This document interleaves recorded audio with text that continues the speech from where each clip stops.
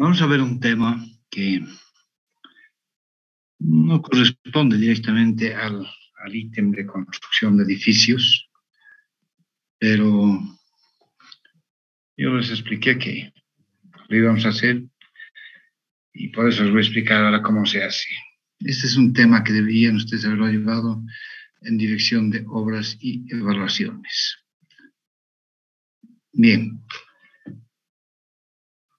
El aprender los rendimientos y los, tanto de los materiales como de la mano de obra de memoria es una locura. Nunca van a poder hacerlo y lamentablemente van a enloquecer en el camino.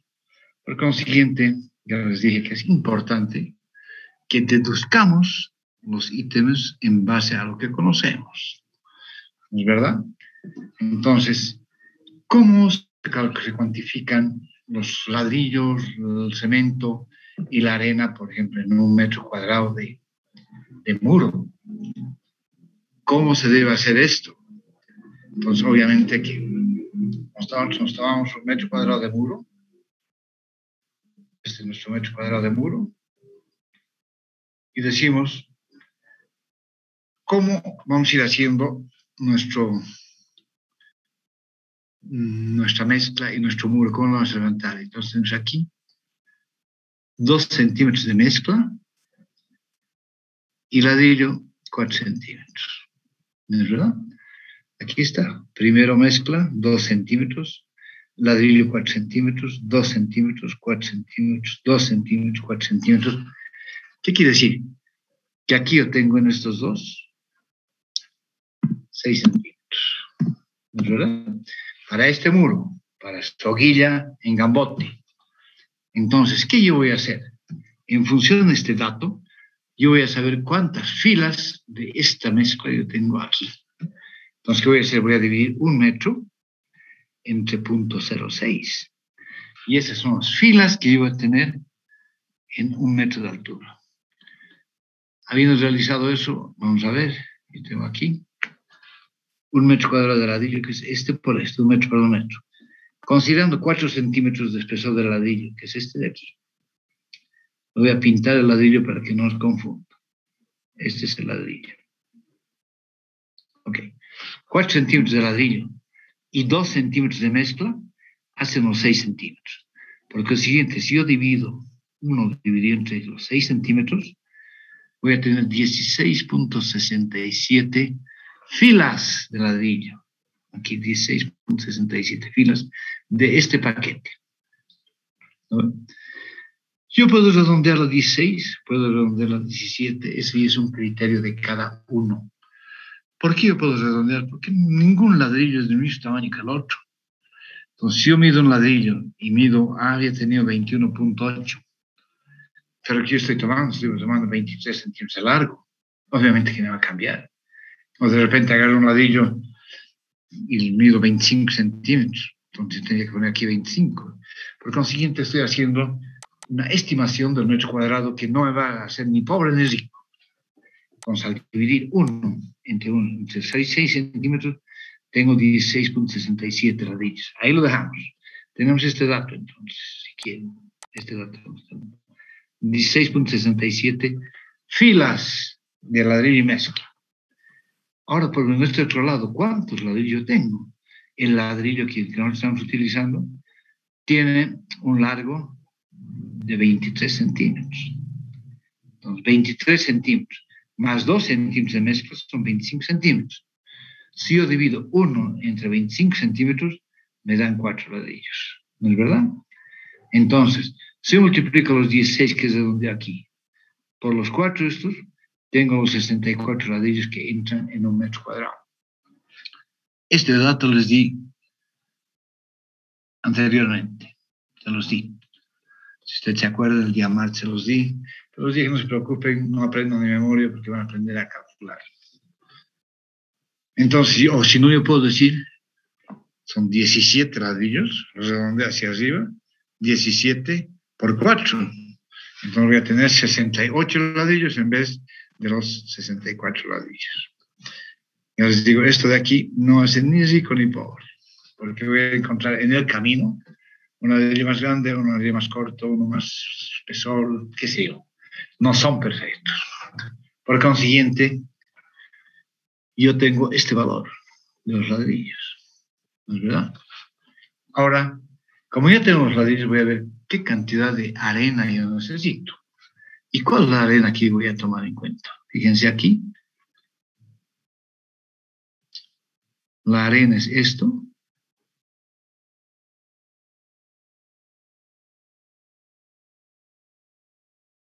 Por esto.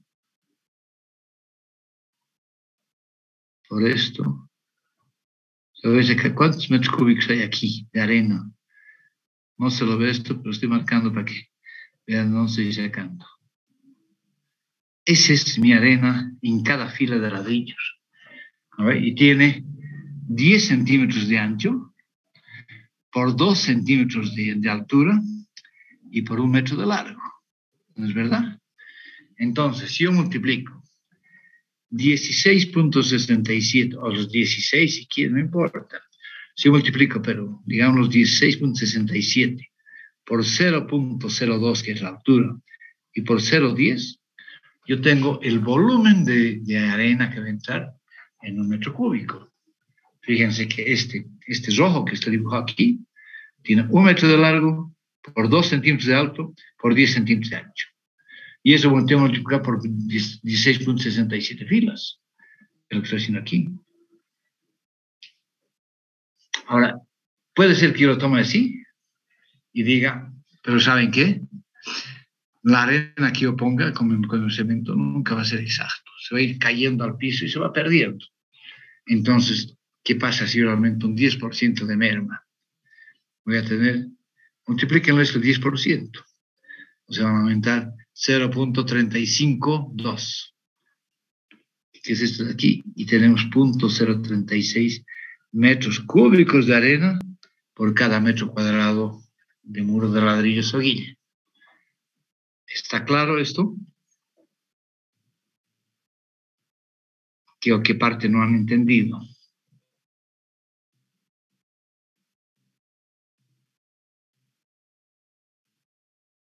¿Todos han entendido todo? ¿O ya no están en clases? Ya. Para hacer una comparación nada más, pero acabaremos esto.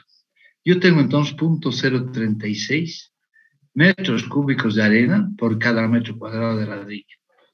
¿Y qué cuánto cemento entrará? Como este es un muro de, de importante, porque estoy hablando, de ladrillo gambote, no estoy utilizando seis huecos, entonces quiere decir que estoy viniendo del hormigón armado. Quiere decir que el cemento que voy a hacer, no sé si está aquí, no. voy a poner aquí el cemento entonces,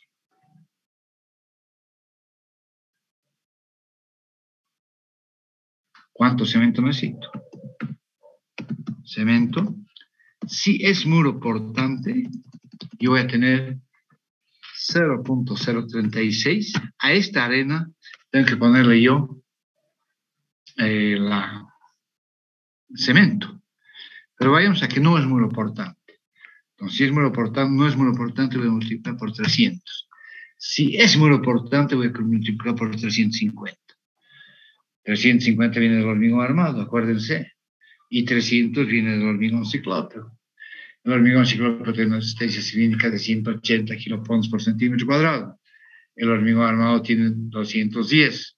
Entonces, es o 350 kilos o 300 kilos, dependiendo si es muro portante o no es muro portante. ¿Está claro? Por consiguiente, tengo ya todo. Tengo 64 ladrillos, o si quieren 68, no me problema yo, depende de cada uno de ustedes. Tengo .036 metros cúbicos de arena y tengo 0.036 por 300, vamos a calcularlos ahorita, 12.6, ¿no es verdad? Entonces, esto es igual a 12.6 kilogramos de cemento por cada metro cuadrado de ladrillo. Nuestra unidad es el metro cuadrado. Entonces tenemos aquí kilogramos por metros cuadrados. Ya tengo, ya tengo el cemento, tengo la arena, me falta el agua. Y la pongo aquí el agua. Agua. ¿Y el agua cuánto será el agua? Tengo que ponerle agua a este, un 0,36. ¿No es verdad? Entonces, ¿cuánto era lo que utilizaba para un metro cúbico de hormigón armado? Necesitaba 0.196, ¿no es verdad? Por 0.036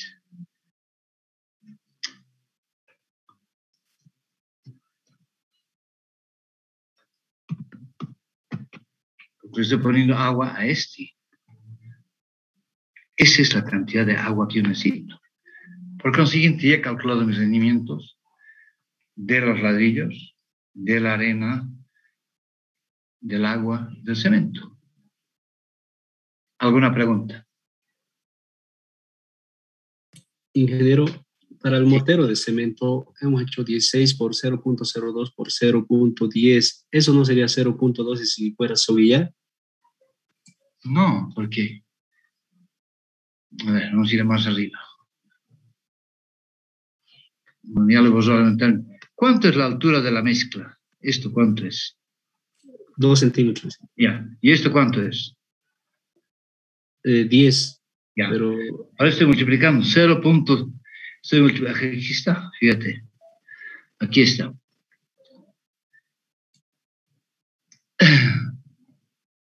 Aquí. 16 filas por 0.02 por 0.10 por un metro y por 16 filas. ¿Está claro? Sí, eh, eso me preguntaba porque en la soguilla E1 habíamos nombrado que era 0.12, E2 es 0.18 y si quieres poner 0.12, ya estoy diciendo, ningún ladrillo es de gambote del mismo tamaño. Yo quiero que me entiendan que no son valores absolutos, es decir, 2 por 2 es 3.9. No, no es así. O si quieren, aquí es así. Saben todos que 2 por 3 es 6. Pero aquí el 2 puede ser 1.9, no es 2 caladito. O si no es 1.99. Y el 3 de repente es 3.02. No hay medidas exactas. Ahora, con lo que estamos partiendo nosotros, ok. Multipliquen por 0.12 aquí. Listo, no hay problema. Si multiplicamos eso, 0.012, pues les he hecho el criterio de cada uno. No son valores absolutos que estoy dando. Si tengo 16 por 0.012, no. Por 0.02 y por 0.12, ¿listo? ¿Cuánto tengo ahí? Vamos a calcularlo. Aquí está. 16 por 0.02 son 0.3038. ¿Ya? ¿Quiero hacerlo así? Perfecto, no tengo problema. Ahora quiero utilizar estos 16.67. Ok, utilizamos eso. 16.67 por punto 02 por punto 12. ¿Quieren hacer con las medidas? Ninguno de está mal. No son valores, no es que estoy haciendo con un molde y ese tamaño se va, a, repetir por siempre. Aquí tenemos punto 0,4. Coloquen punto 0,4. Si trabajamos con esto es 0.04 metros cúbicos por cada metro cuadrado. ¿Está claro? Sí, gracias. Ok. Ahora fíjense, ¿qué pasa si no estoy haciendo con ladrillo gambote? No estoy haciendo. Estoy haciendo con ladrillo de seis huecos en tabique. Entonces saquemos el número de tres huecos en la tabique.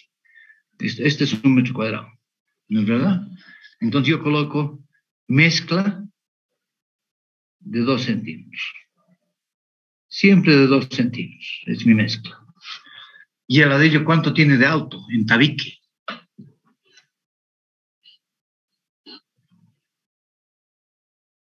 ¿Cuánto tiene de alto en tabique? En la de seis huecos.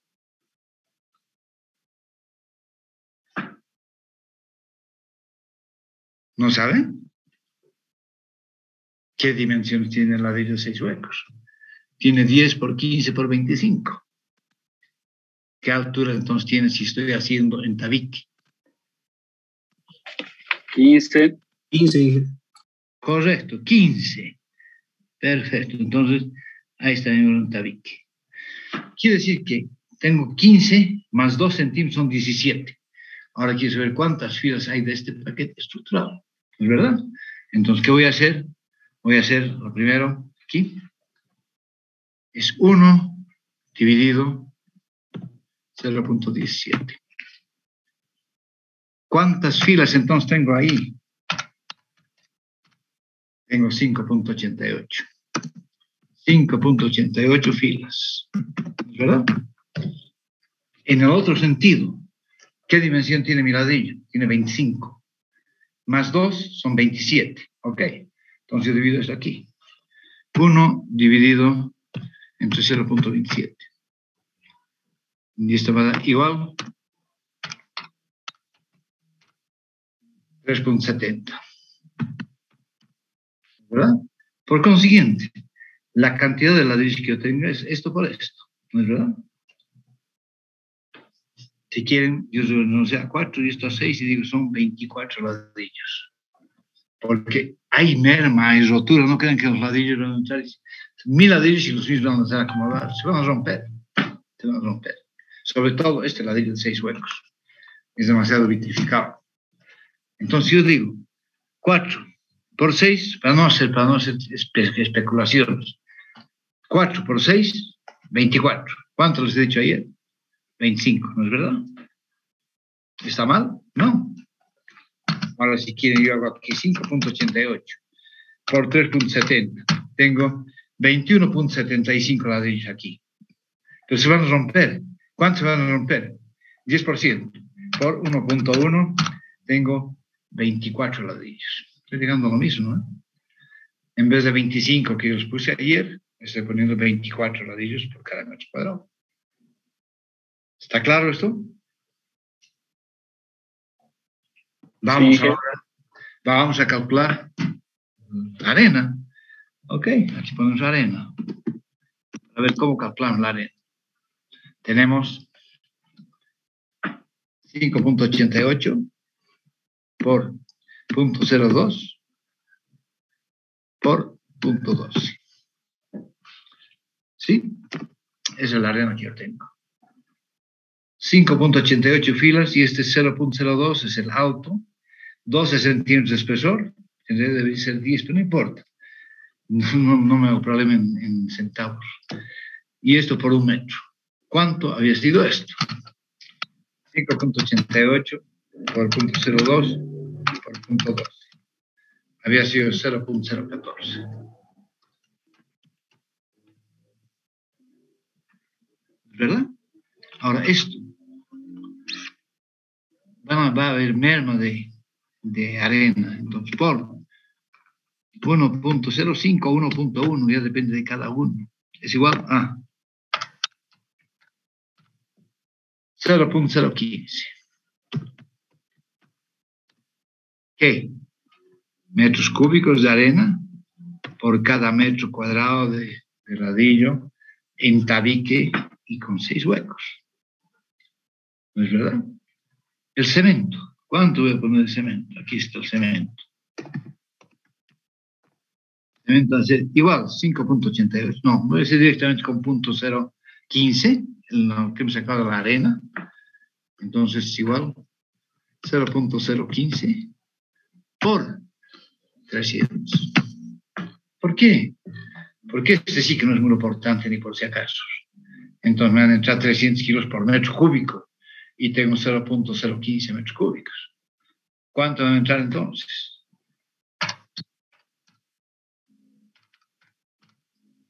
$4.5 kilos.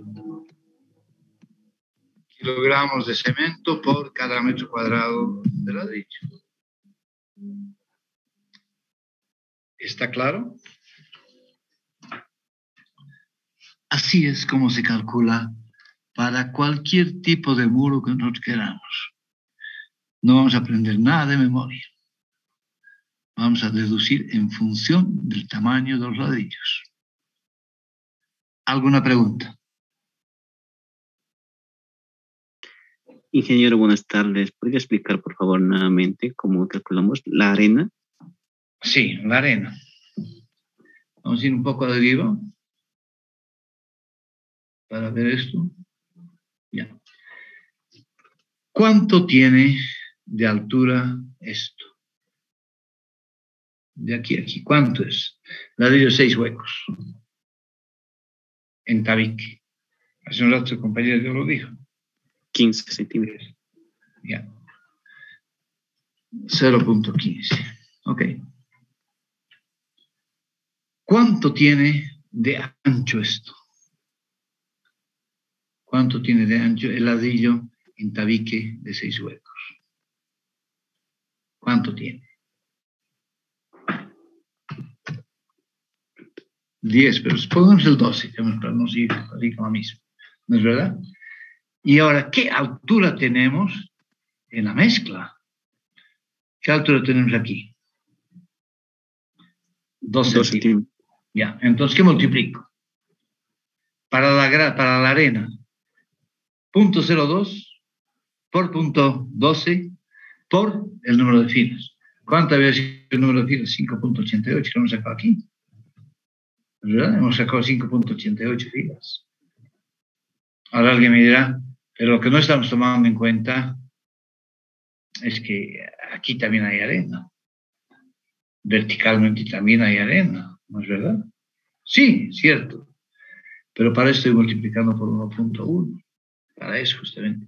Para no hacer una especulación de eso, he multiplicado por 1.01, este, por 1.05 aquí, en este caso, porque es más grande. Esto entonces está absorbiendo esto de aquí. Porque si ustedes se fijan, si yo considero así la arena y así la arena, estoy duplicando esta área. Si la tomo en esto y la tomo en esto, estoy duplicando esta área. Entonces habría que descontar esta área en cada uno de los ladrillos. Eso es especulación llevada al extremo. Prefiero calcular solamente los horizontales y aumentarle un 5% en este tipo de ladrillo por la rotura y por la superposición de, de áreas. Estoy de este lado de la realidad. ¿Está claro? Inge, entonces usted recomienda el 10% para gambote y también para ladrillo hueco es lo mismo 10% en los verticales. No, no, yo no recomiendo nada. ¿Cómo puedo recomendar? Tenía que irme a parar a la obra y mirar que el albañil no rompa ni un ladrillo. Pues yo no voy a hacer ese papelón. Discúlpame, no lo voy a hacer. ¿Cómo quieres que yo recomiende cuánto van a romper y cuánto no van a romper? No, pues hay que cuidar, darle nomás. No, vas a tener cuidado con los ladrillos cuando cortes mitades. No, no, no cortes a golpe, cortarlo con una moladora. Eso más, eso más puedo hacer. Pero no creas que me voy a hacer mi silla, me voy a sentar a su lado para ver cuánto ladrillo está desperdiciando, para saber si es 5% o 10%. Acabo de decir es el criterio del ingeniero. Para eso no se hace ingeniero. ¿Quieren estimar que es 5%? Ok, metan 5%. ¿Quieren que sea 10%? Metan el 10%. Pero no me digan, usted garantizó. No, yo no puedo garantizar nada, yo no estoy construyendo. Yo le estoy enseñando nomás a cómo se calcula. ¿Alguna pregunta más? Bien, con estos cálculos que hemos hecho, vamos a ver el muro de ladrillo, cómo se saca el precio unitario. Muro de ladrillo gambote de 0,12. Hemos hecho esto para 0,12 permiso, que me su alumno Y hemos sacado 12.60 kilos de cemento. ¿No ve? ¿De dónde? 350 por 0.36. Este punto 0.36 es la arena. Aquí está la arena, ¿no es verdad? y a esta arena le estoy poniendo cemento. Entonces, punto 0,6 por 350 metros, kilogramos de cemento por cada metro cúbico, multiplico por los metros cúbicos y tengo el valor, la cantidad de cemento que tienes, 12.60, que es el que viene aquí. La arena, la arena es punto 0.36, lo hemos calculado así. El ladrillo, hemos dicho que 4 por 16 es 64. ¿Quieren ustedes colocar aquí 68? Colóquenle, no tengo problema y esto hemos sacado el agua, que es igual a 0.196 metros cúbicos por 0.036. ¿Está claro? Estoy deduciendo todo esto. No he aprendido de memoria nada, absolutamente nada. Me he aprendido, sí, el cemento qué cantidad tiene que hacer, si es 350 o es 300. ¿Por qué? Porque yo les rogué a ustedes que se aprendan de memoria el ítem de hormigón armado. Y espero que lo hayan hecho. Porque yo ahorita estoy haciendo eso y no me estoy fijando en ningún papel. Lamentablemente no me no me estoy fijando. Si me estuviéramos en clases presenciales, me verían que yo entro sin ningún papel a dar clases. No me aprendo nada de memoria, deduzco todo. ¿Alguna pregunta? Pasamos al próximo ítem que se llama mano de obra. Y el albañil necesita 0.8 y el peón 0.9. ¿De dónde sale esto? Del precio este. Yo tengo que pagar entre 25 y 30 bolivianos el metro cuadrado de ladrillo gambote al contratista. Si quieren algo de atrás, hacia adelante, como les he enseñado. Este, ese valor, este es un precio, es un precio secreto a gritos, pero entre todas las empresas se maneja eso. Y si yo pongo 60 bolivianos que voy a pagar, todos los contratistas que llevamos ahora a venir aquí los contratos para hacer muro de ladrillo Gambotti. Entonces, si les ofrezco 15, seguramente ni los ayudantes van a venir a, a querer hacer el muro. Entonces, este es un secreto a gritos. Y a este valor, yo pongo las cargas sociales que están entre el 55 y el 71.18%. ¿De qué? Del subtotal de la mano de obra. Y como no tengo el crédito fiscal, entonces introduzco el IVA y este IVA es el 14.94 de la suma del subtotal más las cargas sociales. Por eso es el 48.35. Maquinaria no tengo, pero si hay mano, si hay herramienta, si hay mano de obra, hay herramienta y equipo. Voy a utilizar barilejo, pala, casetilla para traer los ladrillos. O sea, yo considero este valor que ustedes lo que está entre el 3 y el 8%, lo que yo utilizo. Alguien quiere poner 100% ahí, póngale. Lamentablemente no se va a aplicar ninguna obra. Yo estoy enseñando para que sean competitivos. Una vez que tengo todos los costes directos, los cuantifico y tengo 110 bolivianos por metro cuadrado de ese tipo de ladrillo. Y esto empieza a aplicar los gastos generales, que es, un porcentaje, ustedes ya lo tenían, lo han definido. Tengo un valor, es un porcentaje de este. Y después entra la utilidad. ¿Qué porcentaje? Aquí he puesto 10, pero podría ser entre el 5 y el 15, depende de cada uno. Pero es de la suma del costo directo más los gastos generales. Por es que es 123.99. Yo quiero que en sus planillas así aparezca. Y no que aquí me digan Utilidad, porcentaje de 1 más 2 más 3 más 4 igual a 12,39. ¿De dónde sale el 12,39? Pongan las cantidades para que uno pueda revisar. Ni me digan tampoco utilidad, porcentaje de 1 más 2 más 3 más 4, porcentaje 12 y resultado. No, no funciona así. Esto yo lo estoy poniendo aquí a ustedes para que sepan de dónde está viniendo pero no necesitan ponerlo ustedes en su precio unitaria. Directamente saben que este 10% es la suma de esto más esto, que es justamente 1 más 2 más 3 más 1 más 2 más 3 es el costo directo.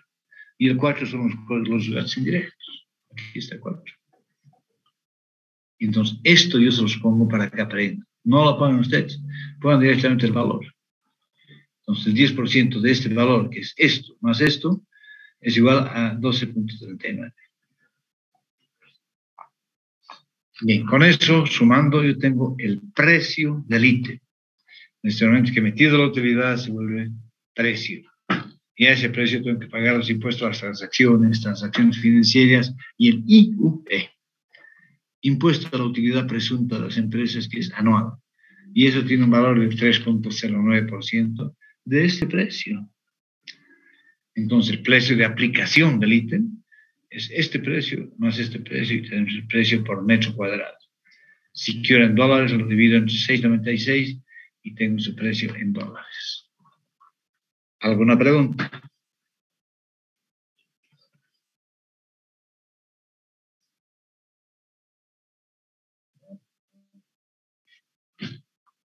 Bien. Con esto habríamos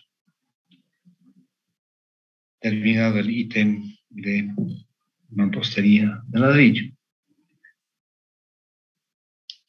Entonces vamos a pasar al próximo ítem, que es el que más nos interesa a todos los ingenieros, se llama hormigón armado. El hormigón armado comprende la estructura portante de una edificación y está compuesto por el concreto que absorbe las tensiones de compresión y el acero que absorbe las tensiones de tracción.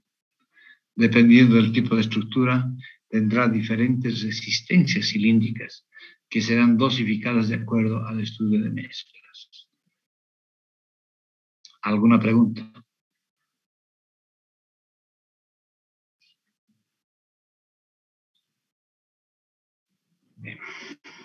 ¿Siguen todavía ahí? Todo claro, ingeniero. Está claro. claro, ingeniero.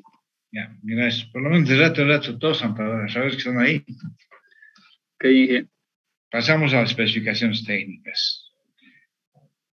La resistencia cilíndrica del hormigón debe ser 21 megapascales como mínimo. No puede ser menos para el hormigón armado. De aquí lo que salía 210 que son 350 kilos de cemento, y si fueran 180, o sea, 18 megapascales, tendría 300 kilos de cemento para el análisis precio unitario anterior.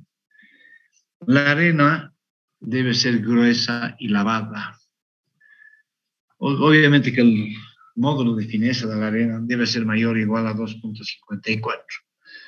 Pero cuando yo le digo a un transportista, estoy construyendo en Melga, llévame arena, por favor yo no tengo cómo saber cuánto es su módulo de fineza, no sé. Entonces, ¿cómo yo determino si esa arena me sirve o no me sirve para el hormigón? Desde ya les digo que si esa arena tiene limo, no sirve para nada. Porque el limo lo único que hace es rajarme mis estructuras de hormigón. Si bien el hormigón trabaja fisurado, pero no quiere decir pues casi roto. Y esa es la propiedad del, del limo, que casi lo fisura el hormigón. Entonces, no, tiene que tener limo esta arena. Y para eso ustedes coloquen en la palma de su mano un pedazo poco de arena y muévalo con los dedos. Tiene que ser áspera esa arena, ásperos, tiene que raspar sus dedos. Si es como, qué sé yo, como tierrita, tienes con limo. Esa no me sirve para hormigón. Por eso dice gruesa y lavada. Esa es la condición de la arena. Y si tienen pues, y módulo de fineza y han sacado una criba, arelo, cernidor, verifiquen también que pasa el número 200, ahí está justamente. ¿Alguna pregunta? La grava que yo utilice debe ser salteada, uniforme y lavada. El diámetro generalmente se utiliza entre tres cuartos y una pulgada, generalmente dependiendo qué elemento estructural. Si yo estoy haciendo vaciado de una fundación, por ejemplo, una zapata aislada, ustedes saben que es más volumen de hormigón que fierro. Por eso que la cuantía de acero es 45 kilos por metro cúbico de hormigón, que es nada. O sea, la posibilidad de que haya cangrejera es cero. Entonces yo puedo meter grava más, más gruesa. Les dije que la grava es más barata que el metro cúbico de hormigón. Entonces, quiero bajar, a meter esta grava de una y media en fundaciones, zapatas aisladas. Pues puedo salir de esto, pero independiente. Siempre no puedo meterle, por ejemplo, esa a una columna o una viga, porque en vez de cangrejera me van a aparecer elefanteras. Tremendos huecos en el vaciado. ¿Por qué? Porque la grava trancó, en vez de ayudar al endurecimiento, trancó la mezcla. Bien, además de estos componentes, yo tengo que utilizar agua, pero que tenga ciertas condiciones. Y las condiciones de esto es que el grado de acidez del agua sea mayor a 5 y menos a 8. Eso me dice la norma. Entonces yo estoy en Melga y no voy a llevar desde aquí cisternas para vaciar.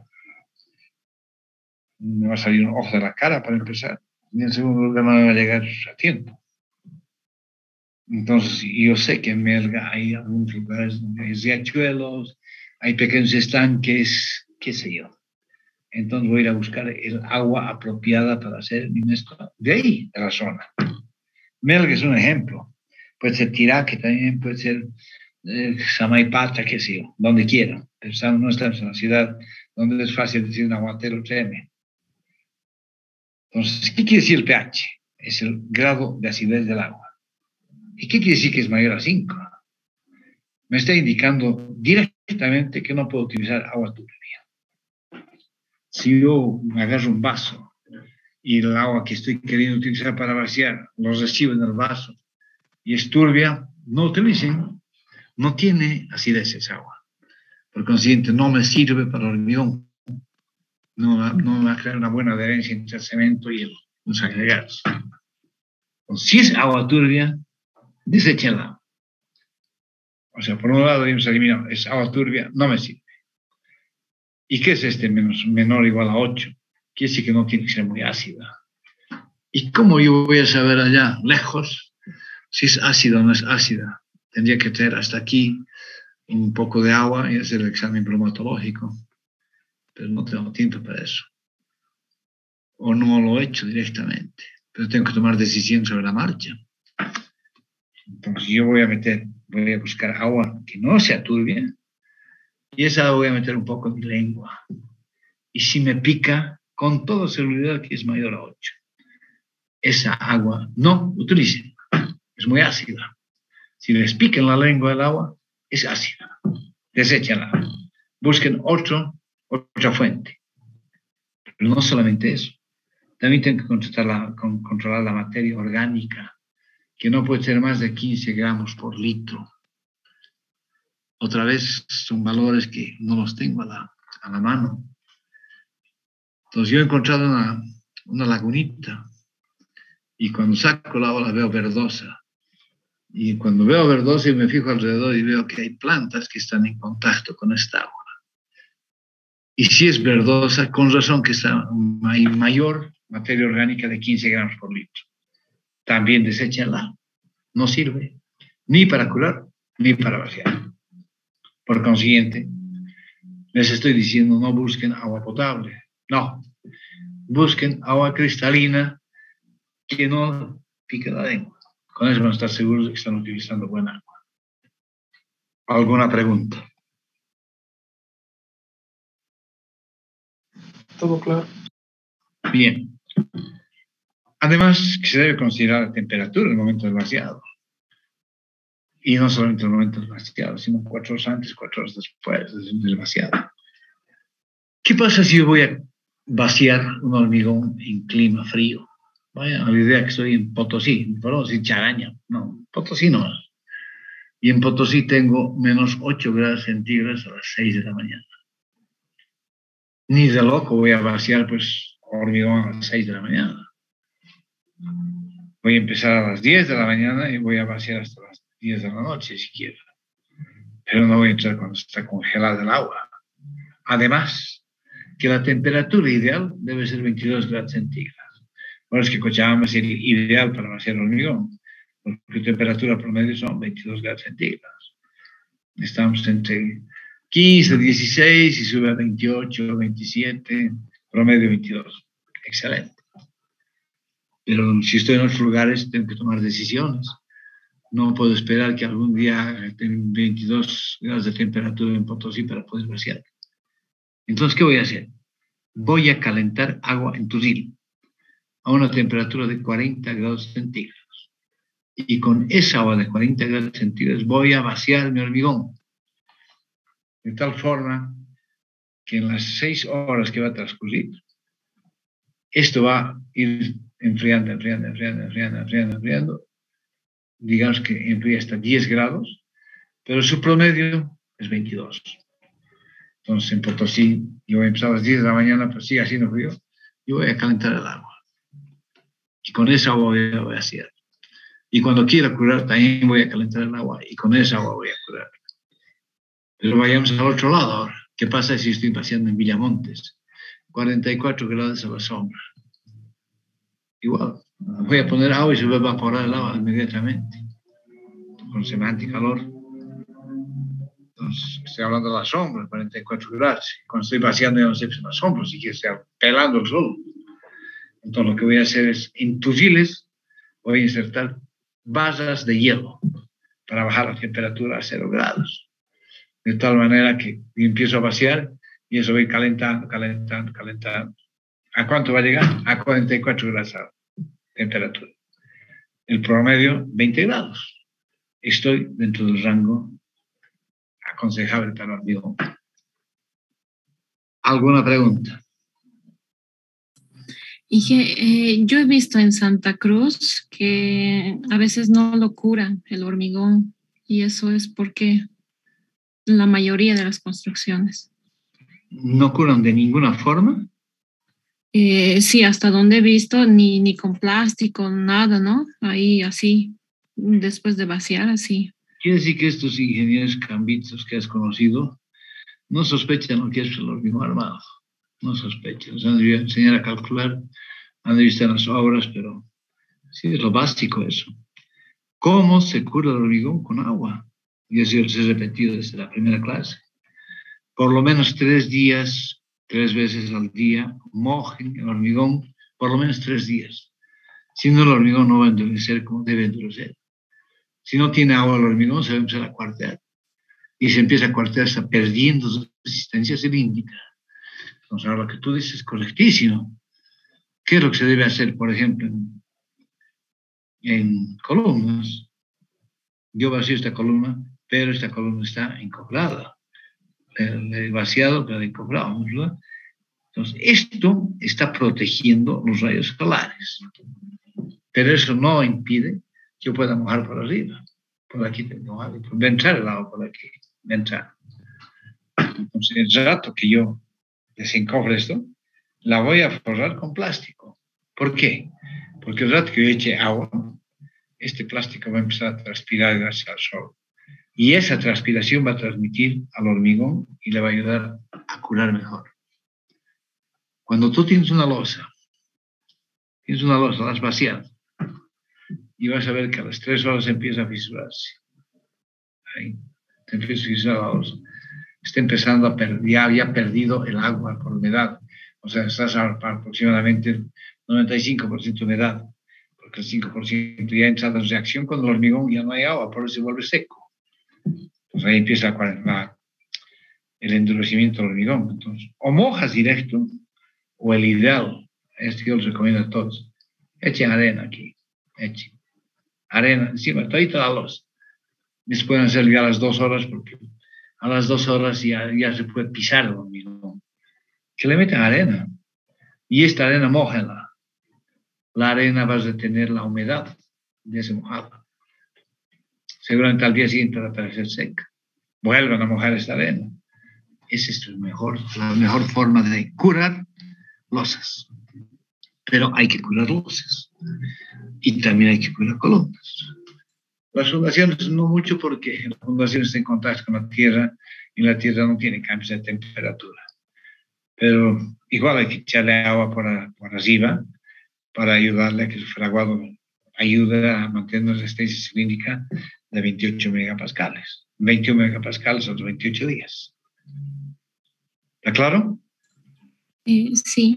Eh, también dije, eh, vi otro caso, pero esto más en muro de contención, donde no, no lo curaron, sino le echaron cicasol. Sí, ese es muy bueno. ¿Y eso es recomendable igual? Sí, sí, el cicasol es muy bueno, muy, muy bueno. Igual encima de la losa se pueden colocar cicasol. Claro que es caro. En cambio, colocar arena no nos va a costar nada. Es la misma arena que después van a seguir utilizando para vaciar más adelante. El cicasol sí, hace el mismo papel que la, que la arena mojada. Ustedes pintan esto con cicasol y esto va a absorber, este cicasol va a absorber las, los rayos ultravioletas del sol y no va a permitir que se queme el hormigón. Es bueno, pero es caro. Está bien, hija. Gracias. ¿Alguna pregunta más? Bien, sigamos avanzando entonces.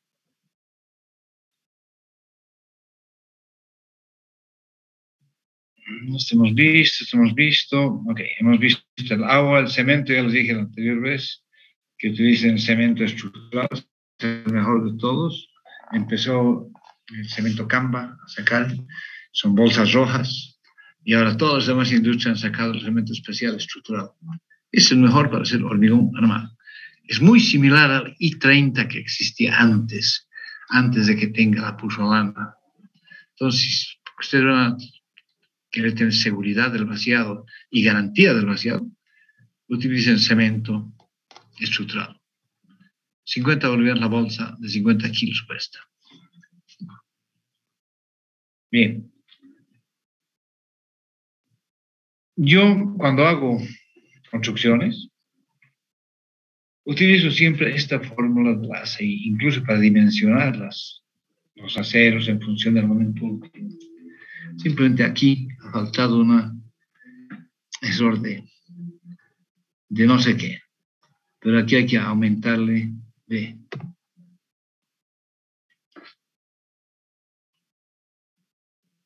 Y aquí.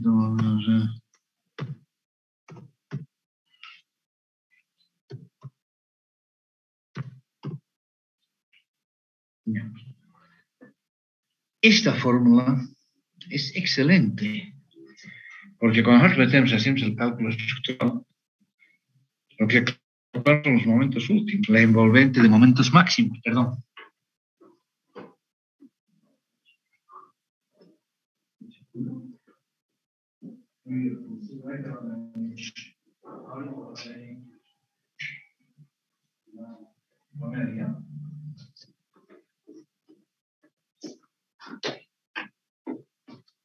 Ok, sigamos.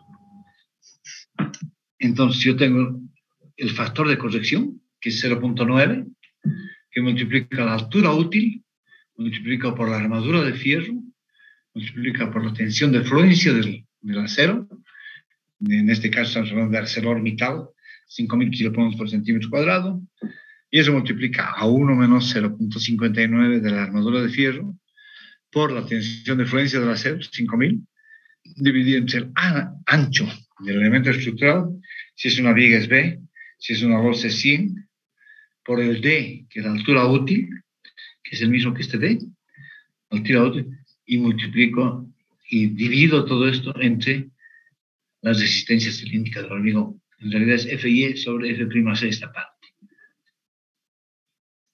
Entonces, ¿qué estoy haciendo aquí? Estoy transformando, si quieren, en una ecuación así. El dato que yo tengo, ax al cuadrado más bx más c es igual a cero. ¿verdad? Esto fueron x al cuadrado más bx más c es igual a cero. Ya sabemos. Porque al multiplicar este AS por 1, tengo el elemento independiente.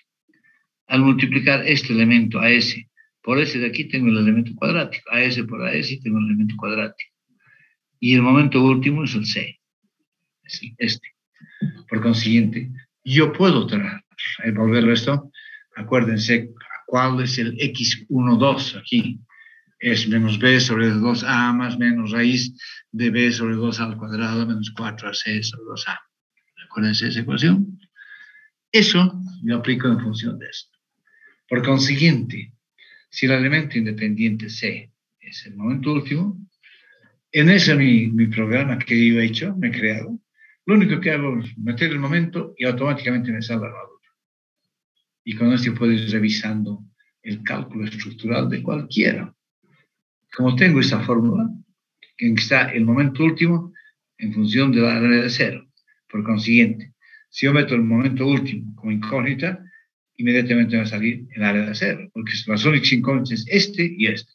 Entonces, si tengo el momento, inmediatamente me sale el área de acero. Entonces, puedo ir verificando y calculando y modificando como yo quiera en función de la sección de que tengamos esto. Pero para hacer esto, son revisiones si quieren, yo voy a considerar la armadura mínima, que esta es la cuantía mínima, y esta es la cuantía máxima. Entonces, cuando hablo de la cuantía mínima, También puedo hablar del AS mínimo. Y ese mínimo es igual a esa cuantía, que otra la mínima, la mínima, multiplicado por B.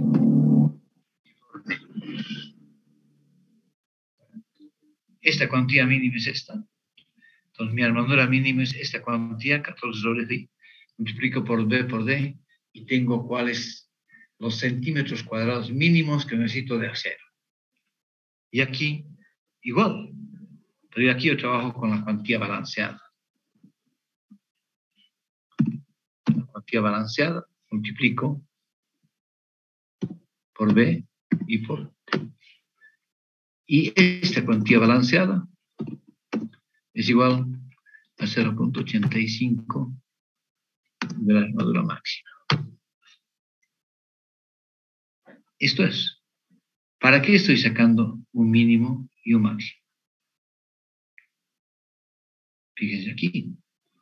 Yo tengo aquí un mínimo, no importa si sea. Aquí tengo un mínimo y aquí tengo un máximo. O sea, aquí tengo armadura mínima y aquí tengo armadura máxima. Mientras yo esté en este rango, estoy hablando de elemento estructural económico. Ahí estoy. ¿Y para qué me sirve esto? Por la economía de mercado que se pueda presentar. Creo que les he contado ya, cuando yo empecé a calcular la católica, a construir la católica, la Universidad Católica, yo fui a Campero para negociar justamente el precio del fierro. Yo necesitaba 846 toneladas de acero para construir la católica. Entonces, como era gran, grande la necesidad, entonces yo fui a negociar las entregas, los pagos, el precio, entonces fui a negociar, es mi amigo, el campero, y él me dijo, ingeniero, cómprese todo el acero que, pueda, todo. Yo le digo, pues, ¿cómo vas a decir eso, Ángel? Ingeniero es un consejo de amigo, todo el acero que pueda, cómprese. No puedo, le digo, necesito del 20% que me han dado, tengo que destinar parte para mano de obra, parte para arena, parte para grava, parte para hacer, o si no voy a, a cerrar negocio con premezclado, pero igual tengo que comprar muchos materiales. yo no puedo darme el lujo de, de, de poner el 20% de mi anticipo en fierro. Y me dijo, obviamente usted tiene la decisión, pero yo estoy dando un consejo de amigos, es cliente cómprese todo el fierro que pueda. No sabe la, el favor que me ha hecho Ángel Campero. Porque decidimos comprar todo el fierro que alcanzaba. Y ese todo el fierro era 560 toneladas. Ni siquiera íbamos a comprar todo el fierro, pero podíamos comprar 560 toneladas. Y compramos las 560 toneladas. Pero yo dudando todavía decía, ¿cuánto puede subir? 10%, 12%. ¿Saben cuánto subió? 317%. Eso subió. Cuando yo compré estas 560 toneladas, las compré a 833 dólares la tonelada. A los dos meses, cuando ya necesitaba más fierro, me estaba costando 2.436 dólares la tonelada. Yo lo he vivido eso. ¿Cómo se puede prever esto? Muchos decían, ah, tienes que tomar en cuenta esas fluctuaciones que existen. ¿Quién hace una fluctuación con 300% de, de desviación? Nadie. Yo, gracias a eso, a ese dato que me dio Ángel Campero, pude negociar con la católica muchas cosas, muchas, muchas cosas, para no rescindir contrato una de las negociaciones que hice es que me les pedí que me den un segundo anticipo. Pero ya no tenía boletos para cubrir eso, que confíen en mí, pero no, no se incrementaba un centavo en su obra. Son, son negociaciones que uno hace. Entonces la, católica también ha valorado y ha dicho, a ver, me están pidiendo un segundo anticipo, pero no tienen avance de obra. Pero el fierro va a estar en la obra. Es cierta garantía, ¿no es verdad? Y me aceptaron. Y gracias a eso pudimos construir y terminar ya la vena católica parada con el mismo precio de contrato. Pero entre las, una de las condiciones que, nos, que nosotros solicitamos era que cambiar la cuantía de los elementos estructurales. Por eso es que es tan importante el mínimo y el máximo. El momento último, este de aquí, no cambia. Este momento ha sido calculado y punto. Así ha cerrado todo y está en, tiene toda la estabilidad necesaria esto. Pero nosotros teníamos vigas así. Así. Que eran de 25 por 60. Casi todas las vigas eran 25 por 60. Y obviamente tenía una cantidad de fierro aquí, tenía otra cantidad de fierro aquí. Nosotros hicimos el recálculo de esto, pero aumentamos la viga así. Y llegamos a 30 por 80. ¿Qué es la cuantía? Son los kilogramos de fierro dividido entre el área del hormigón. Entonces, si estamos aumentando el área del hormigón, la cuantía se nos bajaba. Ese era uno de los condicionantes que nosotros pusimos, que mantengamos la sección para que el fierro no sea tan lapidario con nosotros. Nos aceptaron. O sea, era salvar la obra. Porque no, de repente ni hasta el día de hoy se hubiera construido, porque a partir de eso empezaron a dispararse los precios de los materiales. Entonces, cuando aumente el fierro, nos vamos a tratar siempre de que nuestra cuantía esté cerca de esto, a la mínima, porque el fierro es lo que se ha sepado, es este caso. En cambio, si el que se ha disparado es el, cemento, obviamente vamos a, a reducir nuestra, nuestra sección y vamos a tratar a la armadura máxima. Esta armadura máxima es cuando se dispara el cemento. Esta armadura mínima es cuando se dispara el fierro. Pero sigo entrando dentro de un régimen económico y estoy respetando el momento último, no lo estoy cambiando. ¿Alguna pregunta?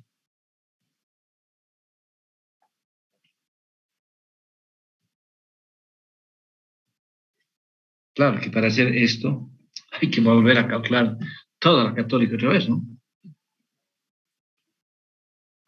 Eso hemos hecho, pero hemos logrado salir adelante. Y si alguien me dice, ¿por qué hicieron eso? Yo les digo, todas estas cosas no están en libros. Son cosas que uno tiene que ir escraneando y pensando cómo salir del pollo. Uno no puede transar con las dificultades. O las vences o te vencen. No hay otra. No puedes transar y decir, vamos a medias. No hay. Cuando hay dificultades, no te queda otra que vencerlas. Y si no, rendirte y ni modo, te quedaste ahí. Por eso es que el ingeniero tiene que, en base a todo el conocimiento que tiene, tiene que aplicar y buscar fórmulas o soluciones que sean factibles. Esta ha sido una solución factible, esta. La prueba es que nos han aceptado esto, nos ha aceptado un segundo desembolso, el fierro estaba en la obra, obviamente, era su garantía, pero gracias a esto hemos podido acabar la católica y ahí está, de pie. ¿Alguna pregunta?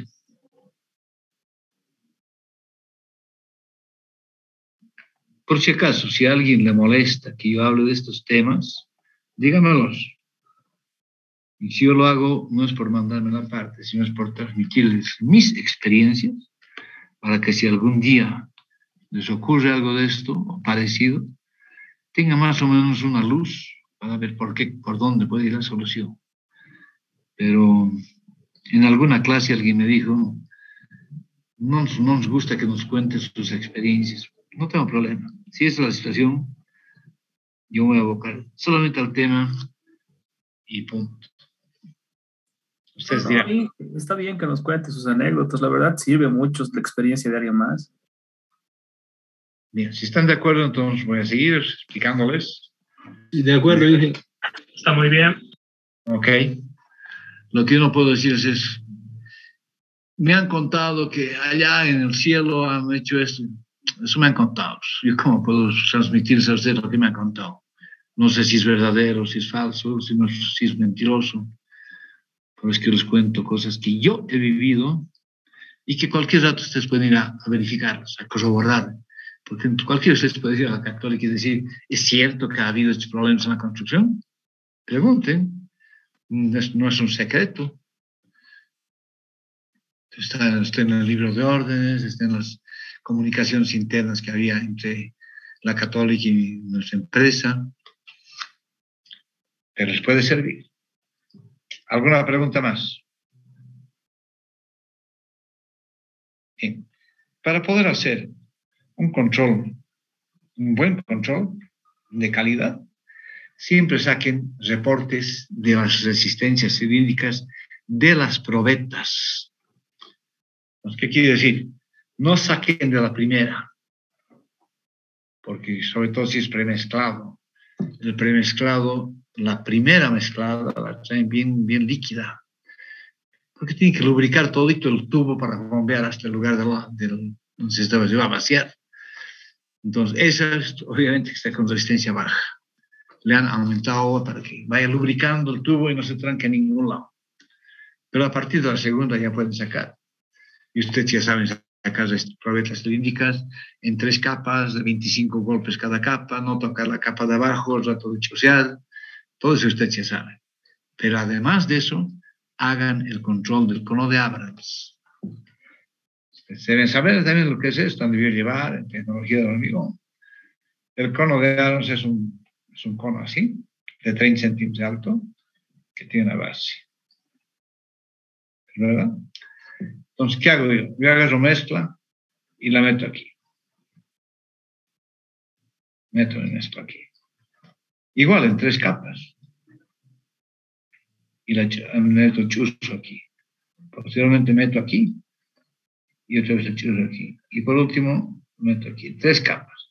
Pero nunca chusean hasta abajo, siempre hasta la, capa inferior nada más. ¿Y qué hacen? Después sacan este, este cono de Abrams y lo colocan aquí. Esto se han debido explicar, pero yo no tengo ningún problema en no explicarles. Y el, este cono de Abrams yo lo coloco invertido, así. Así está mi cono. Y esto, que ya no tiene el cono, porque lo he sacado del cono, pero hay que sacarlo muy cuidadosamente, se ha vuelto una cosa así. Así. Entonces, ¿qué voy a hacer? Yo tiro aquí una regla y mido esto. Ese es el revenimiento que se produce y ese rendimiento es más grande cuando tiene mayor cantidad de agua, menos grande cuando tiene poca cantidad de agua. Entonces, si esta, esta masa de aquí, por ejemplo, yo saco el cono y se me hace una cosa así, y tengo un rendimiento de, qué sé yo, 18 centímetros, cállate así, llévenselo, llévenselo más o mezcla. No me sirve para nada, llévensela. Sí, sí que tiene demasiada agua mi mezcla y aunque lloren los, los, los remezclado, yo voy a sacar una probeta de esto, les voy a hacer romper a ellos, a los siete días se voy a hacer la proyección, y con toda seguridad les voy a demostrar que está debajo de lo que he pedido. Por consiguiente, aquí es donde vemos si es muy aguado o poco o muy pastoso la mezcla. O sea, que, yo saco el cono, cuando yo lo saco, pero con cuidado, no lo voy a sacar a, a, a sino lo saco esto y lo doy la vuelta y lo coloco aquí. Aquí lo coloco mi cono. Al lado de la mezcla que ha quedado. Y ahí mido esta altura. Y este es mi revenimiento. ¿Alguna pregunta?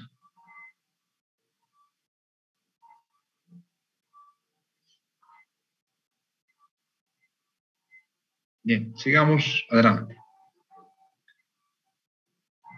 Metodología. Para todas las estructuras se deben considerar los recubrimientos estipulados en planos, para lo cual es importante la fabricación de galletas. Esto ya lo hablé, pero voy a repetirlo porque es importante. Generalmente, ¿qué es lo que hacen los albañiles? Y que es un, por cual yo reniego. Aquí está mi hormigón pobre. Han vaciado el hormigón pobre. Entonces, arman la, la parrilla. Aquí está la parrilla inferior de la zapata.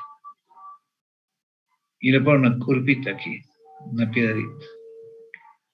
O sea, han levantado y lo han puesto. Y el otro le han puesto otra piedrita aquí. Listo.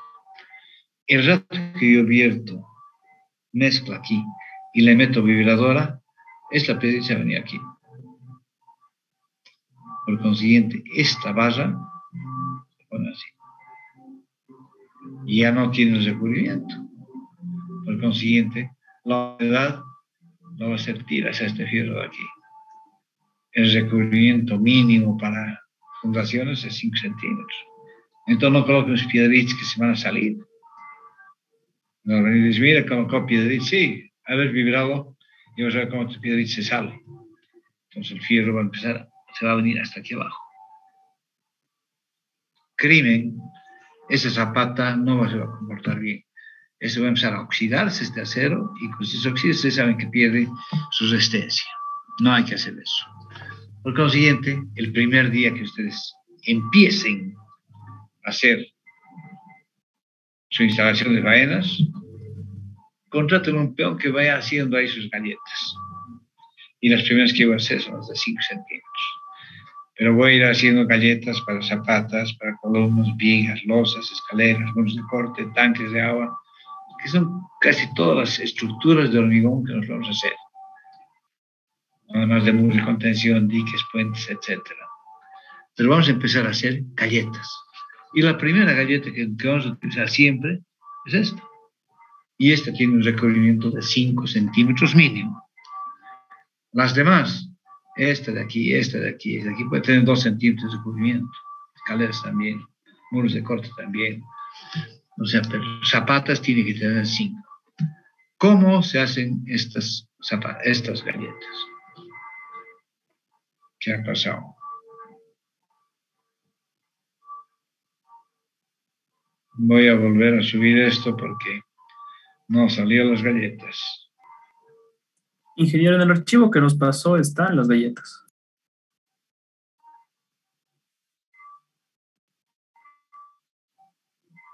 Aquí no. Salió mal. Voy a volver a subir un ratito nada más. No se preocupen de eso.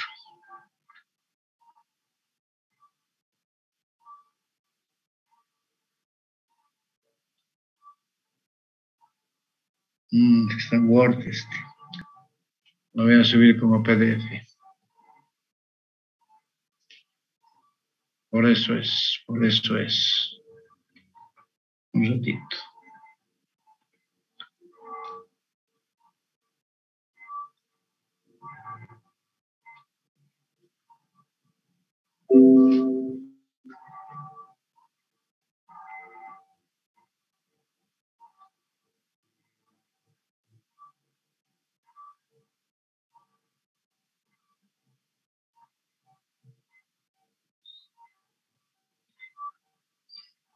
Aquí está.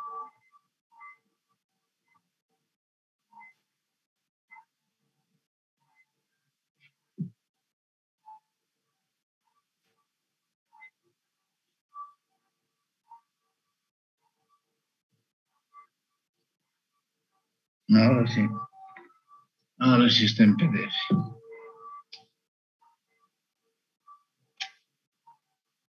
¿Ok? Vamos a la parte donde estamos. Aquí están las galletas. Esto se debe entendernos, ¿verdad?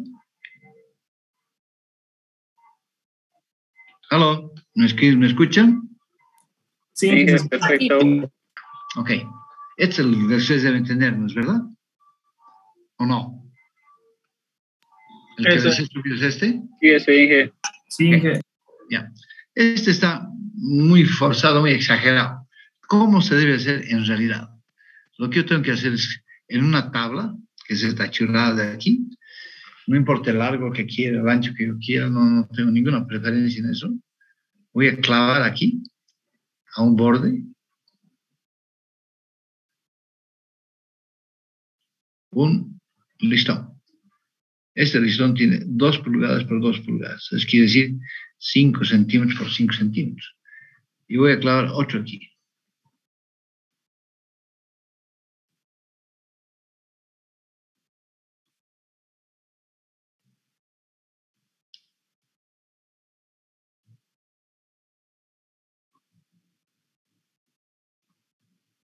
Y voy a clavar otro aquí.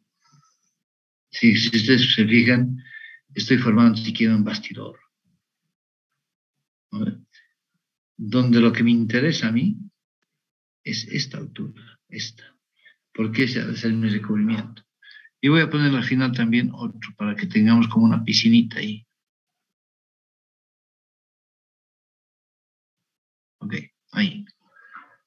Entonces, tengo un bastidor, aquí no hay nada. Está vacío y solo se ve la tabla aquí abajo. Entonces, lo que voy a hacer es empezar a colocar mezcla, mortero mejor, más que, más, que mezcla. Y este ha ser una dosificación de una parte de cemento por tres partes de arena. Tiene que ser una mezcla mm, que sea más dura que el hormigón, para que no se me vuelva a puntos de inflexión eso. Entonces yo empiezo a vaciar esto, a llenar con esa mezcla de una parte de cemento por, por tres partes de arena. Y lo lleno todo esto. Y le coloco una regla encima para rasarlo. Ese todo es mezcla. Entonces yo pongo una regla de aquí a aquí, una regla así, la paso así y va a ser todo la misma altura. Y lo voy a dejar así durante dos horas. Esta mezcla es, como he dicho, 1 a 3. Uno de cemento por tres de arena. Una vez que he llenado esto lo a las dos horas voy a agarrar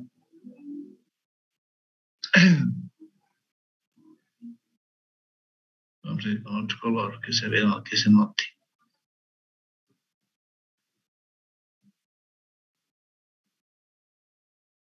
Una espátula y voy a cortar así ayudándome con una regla. Más o menos 5 centímetros de separación entre línea y línea. aproximadamente 5 centímetros. Y cortado con la espátula así. Pero en este sentido también. Entonces empiezo a cortar también así, cada 5 centímetros.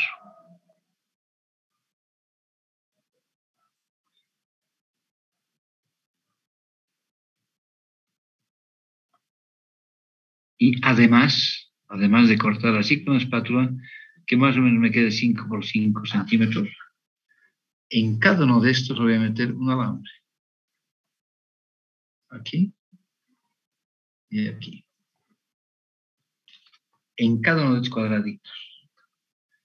Entonces, para que lo vea más claro, yo tengo aquí. Esta altura es justamente los 5 centímetros. Y voy a meter ahí un alambre. Lo voy a meter aquí. Una horquilla de alambre, alambre de alambre así. Listo, y lo voy a dejar secar. Pero toditos ustedes tienen que tener esto de aquí. Y de ahí lo voy a meter al agua a las 8 horas. Y lo voy a dejar 28 días en el turril con agua. Esto aproximadamente tiene 5 centímetros por 5 centímetros. Por es que corto 5 así y 5 así separados. No tiene que ser exacto, no me interesa el tamaño, pero es suficiente con 5 centímetros. Aquí dice 5 centímetros de sentido, 5 centímetros de sentido. Tampoco, si, si corto 6 por 6, no creo que está mal. Lo que me interesa real es esta altura, porque esta altura es mi recubrimiento, esta. ¿Qué es esto? Justamente este es mi recubrimiento. Entonces, a mí me interesa que sea esta altura, esta. Y ese es mi recubrimiento. ¿Qué es esto? Entonces, yo voy a colocar maderas aquí si yo os voy a hacer, para, por ejemplo, para columnas, para vigas, entonces la altura de esto es dos centímetros. Voy a colocar una tabla aquí y otra tabla aquí. Le voy a separar un poco hasta dos centímetros. Voy a hacer lo mismo. Entonces, ¿para qué he hecho esto? Cuando yo la voy a usar, voy a traer el, fierro y lo voy a colocar aquí. Como está aquí. Ahí. Y lo que voy a hacer es voy a este alambre de aquí, lo voy a cerrar así, esto lo voy a cerrar así, y lo voy a hacer un tornisquete. Este alambre nunca más se va a mover de esa posición, y está apoyado obviamente sobre el hormigón. Este nunca más se va a mover, pueden, saltar, brincar, patear esto, no se va a mover, porque la galleta está amarrando, aquí están viendo, está amarrando la galleta. Y voy a agrandar esto para que puedan ver.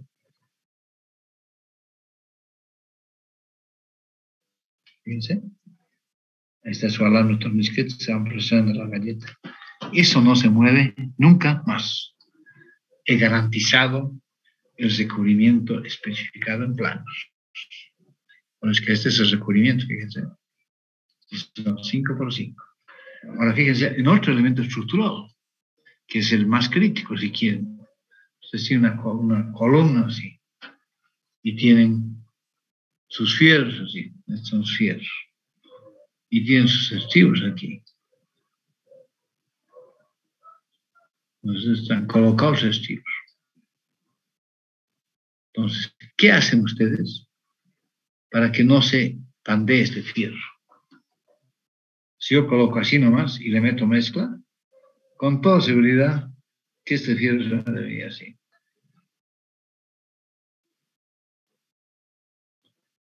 No hay nada que no le diga que sea medio. Por consiguiente, también se va a venir así.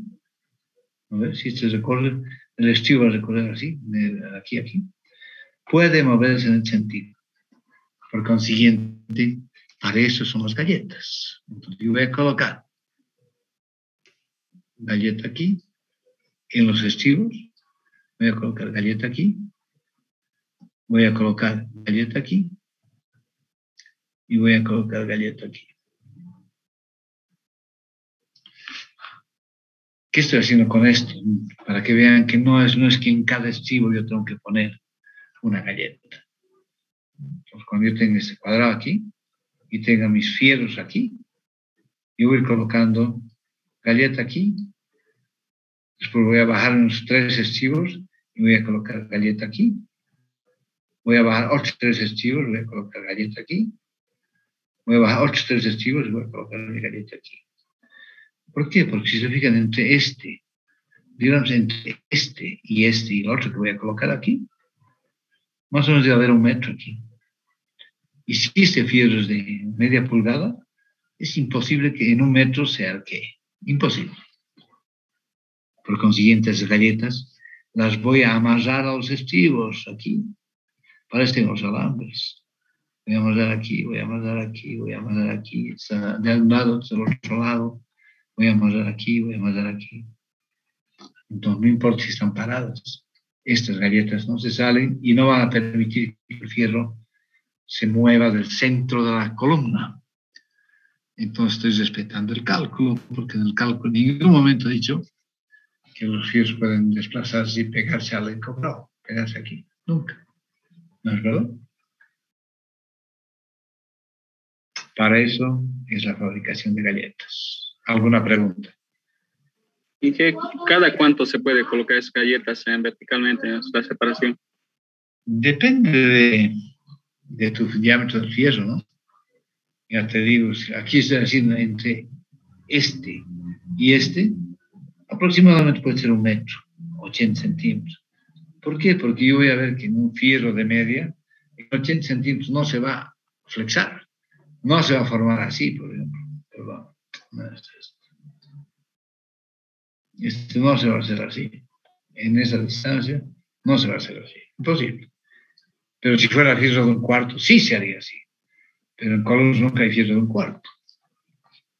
Entonces lo importante es que vayan rotando y mientras van bajando, con las galletas, no en la misma cara, sino vayan rotando, cara, de, cara este, dos fierros más, más abajo, el norte, dos fierros más abajo, el oeste, tres, tres fierros más abajo, el sur, vayan bajando alternadamente, aquí, aquí, aquí, aquí, aquí, aquí, aquí, en los cuatro lados para garantizar de que esté centrada su columna. ¿Alguna pregunta?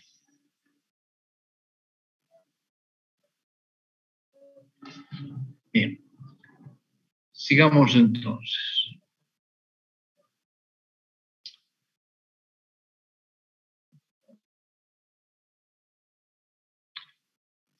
El hormigón armado tiene la cualidad de adaptarse a cualquier forma de acuerdo con el modelo cofrado. por lo que es posible darle forma a unas variedades extraordinarias, particularmente la construcción de edificios, llegando a dar satisfacción a los más exigentes planteos estructurados. Esta es la gran ventaja que tiene el hormigón armado.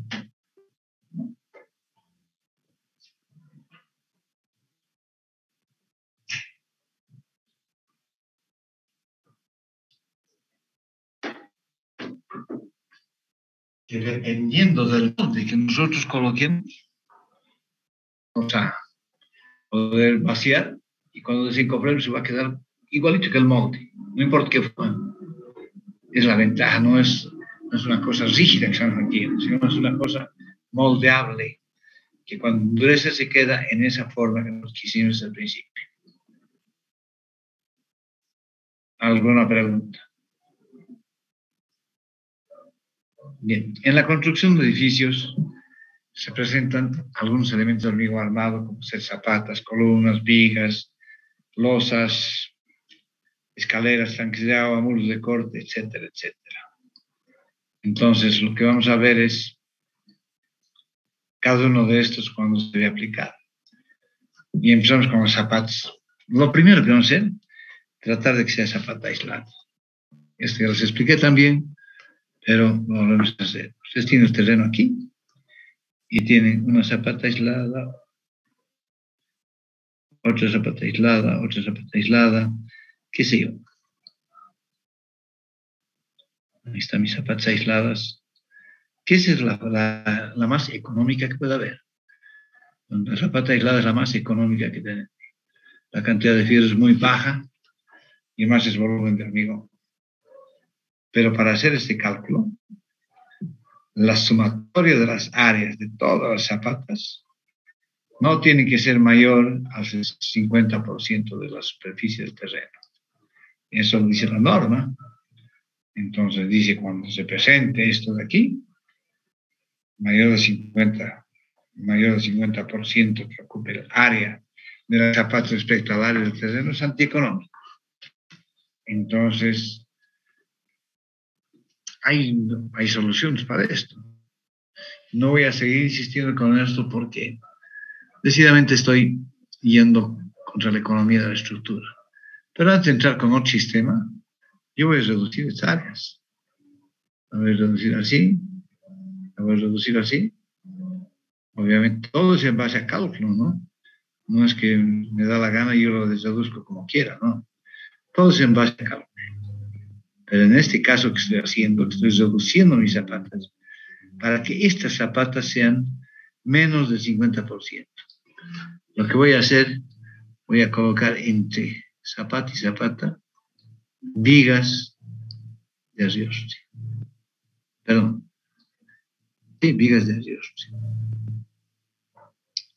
Entonces, al colocar las vigas de arriostre, el azul está menos del 50% del terreno. Y estas vigas de adiós que estoy colocando en zapata y zapata me están permitiendo que no haya asentamientos diferenciales y que me aguanten las cargas, porque esta parte que está en contacto con el terreno, esto que está en contacto con el terreno, esto que está en contacto con el terreno, hace que me distribuya y me arriostre en todas las fundaciones y eviten asentamientos diferenciales. Esta es una solución, trabajar con zapatas aisladas con vigas de arriostre. Es más, yo tengo una zapata aquí. Supónganse que tengo una zapata aquí. Y tengo una columna aquí. Entonces yo puedo colocar una viga de equilibrio de aquí a aquí. Así. De esta zapata a esta zapata. ¿Por qué? Porque esta doble excentricidad me está produciendo un vuelco. Va a querer volcarse este lado y volcarse este otro lado. Y esta viga de equilibrio no va a permitir que haya momento de vuelco. Entonces, yo puedo hacer vigas de adiostre o vigas de equilibrio. ¿Está claro? Estoy viendo la secuencia de las zapatas que, que podemos hacer. Pero vayamos a que aún así estamos encima. Entonces, no, no, no funciona colocando mis vigas de adiós. Entonces, ¿qué voy a hacer? voy a colocar vigas invertidas de gran canto en una o dos direcciones. Lo primero que voy a hacer es vigas en una dirección. Entonces yo voy a agarrar de aquí y voy a hacer una viga así. Voy a agarrar una cosa aquí y voy a hacer una viga así. Y aquí voy a agarrar otra viga y va a ser así. ¿Qué quiere decir con esto? Estas vigas estoy utilizando todo el largo que puedo, todo. Por consiguiente, en función de los resultantes que yo tenga, voy a calcular qué ancho tengo aquí. Si lo hacemos en corte de una de ellas, vamos a ver que estas vigas de, de gran canto son así.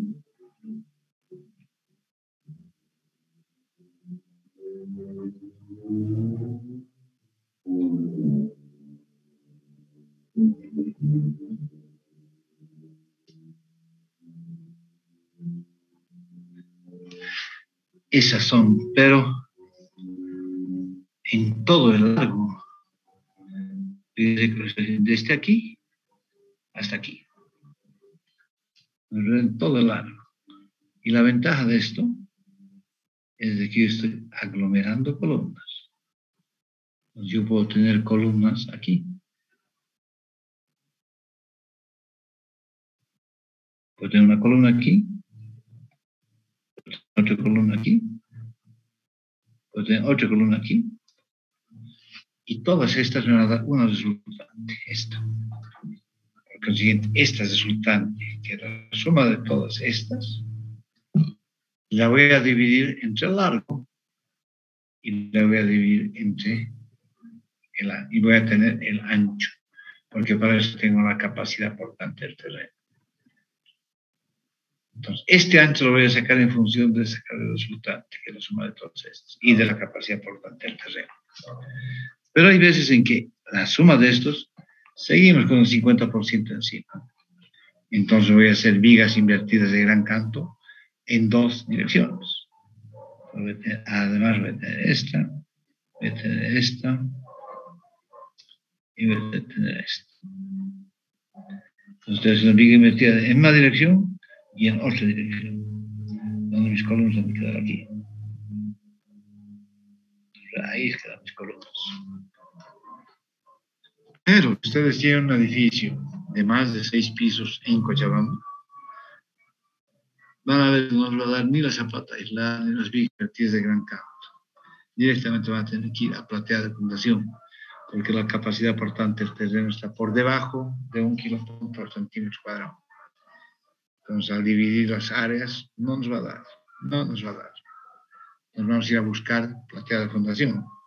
Y cuando nosotros tengamos platea de fundación, desde el lado, desde el punto de vista económico, primero la plata aislada, la plata aislada con vigas de ajuste, si no funciona viga invertida en, un canto, en un canto de una dirección dos direcciones, platea de fundación. En la de fundación yo tengo esta platea. Pero esta platea de repente la he sacado con esta columna. Y esta columna es la más crítica. ¿Qué es esto? Es esto. La del medio simple, la más crítica. Por consiguiente, si yo calculo con esto el funcionamiento, voy a necesitar esta altura, esta. Pero da la casualidad que esta, esta, esta, todas las demás están muy por debajo de esta de aquí.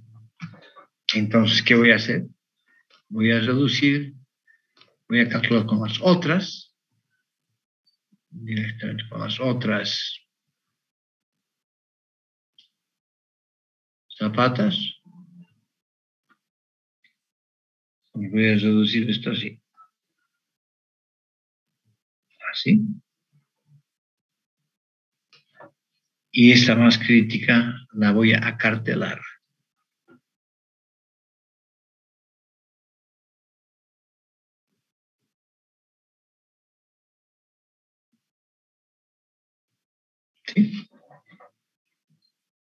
Solamente para la o las más críticas. No estoy usando cualquier cantidad de hormigón, porque para esta columna que había aquí era por demás esa altura de funcionamiento. Solamente esta me estaba tratando de incrementar aquí. Entonces yo puedo acartelar esto Y obviamente mi acero ha de venir aquí, ha de venir aquí, es acero, en planta baja, en la faja inferior y en la parte superior va a ser así. He economizado con esto artísimo. Y por último, si estoy en Santa Cruz, por ejemplo, y tengo más de seis pisos, siete pisos, voy a hacer esto, pero voy a colocar pilotaje. De tal manera que la platea de fundación funcione como encepado de los pilotes. Es que sí, como una mesa invertida. Acuérdense que es arena Santa Cruz, entonces solamente va a trabajar con el fuste. Cuando yo tengo un aquí a hacer, cuando yo tengo un pilote así,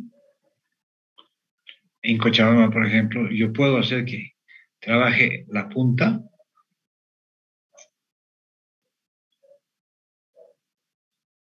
yo puedo hacer que trabaje la punta de mi pilote, trabajar la punta y el fuste. En Santa Cruz esto no sirve para nada, solamente trabajar el fuste. ¿Alguna pregunta?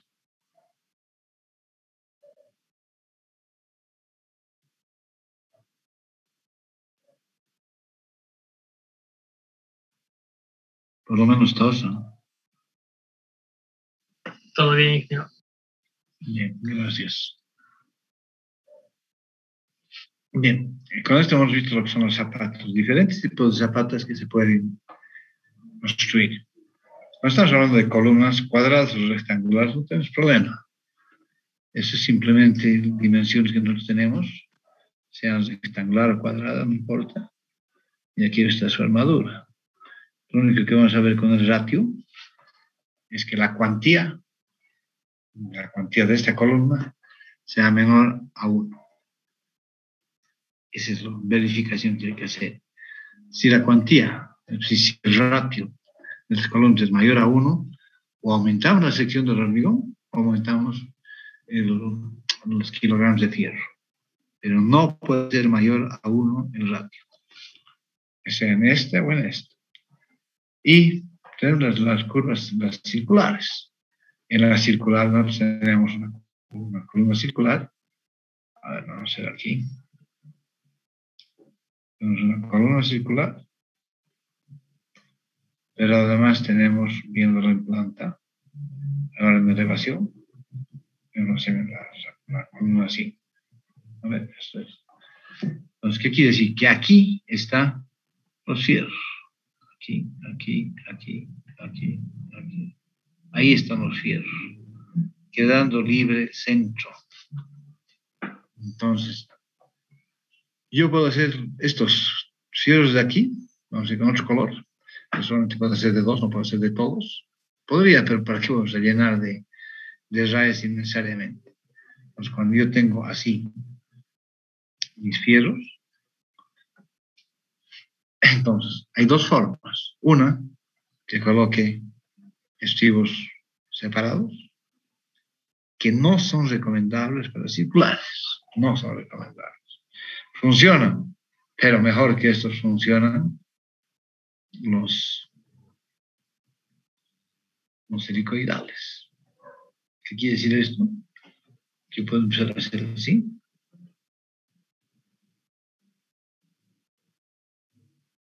este es un helicoide, y este es lo que se llama el paso. Es igual a este. En este caso estoy distribuyendo mejor las columnas. Resisten más, así con, con estribos helicoidales que con estribos aislados. Y en este caso igual, voy a colocar aquí la galleta, voy a colocar aquí otra galleta, qué sé yo, voy a colocar aquí otra galleta, voy a colocar aquí otra galleta. Fíjense, nunca voy a hacer en la misma fila, estoy girando. Así es como se calculan o cómo se construyen las columnas circulares. ¿Alguna pregunta?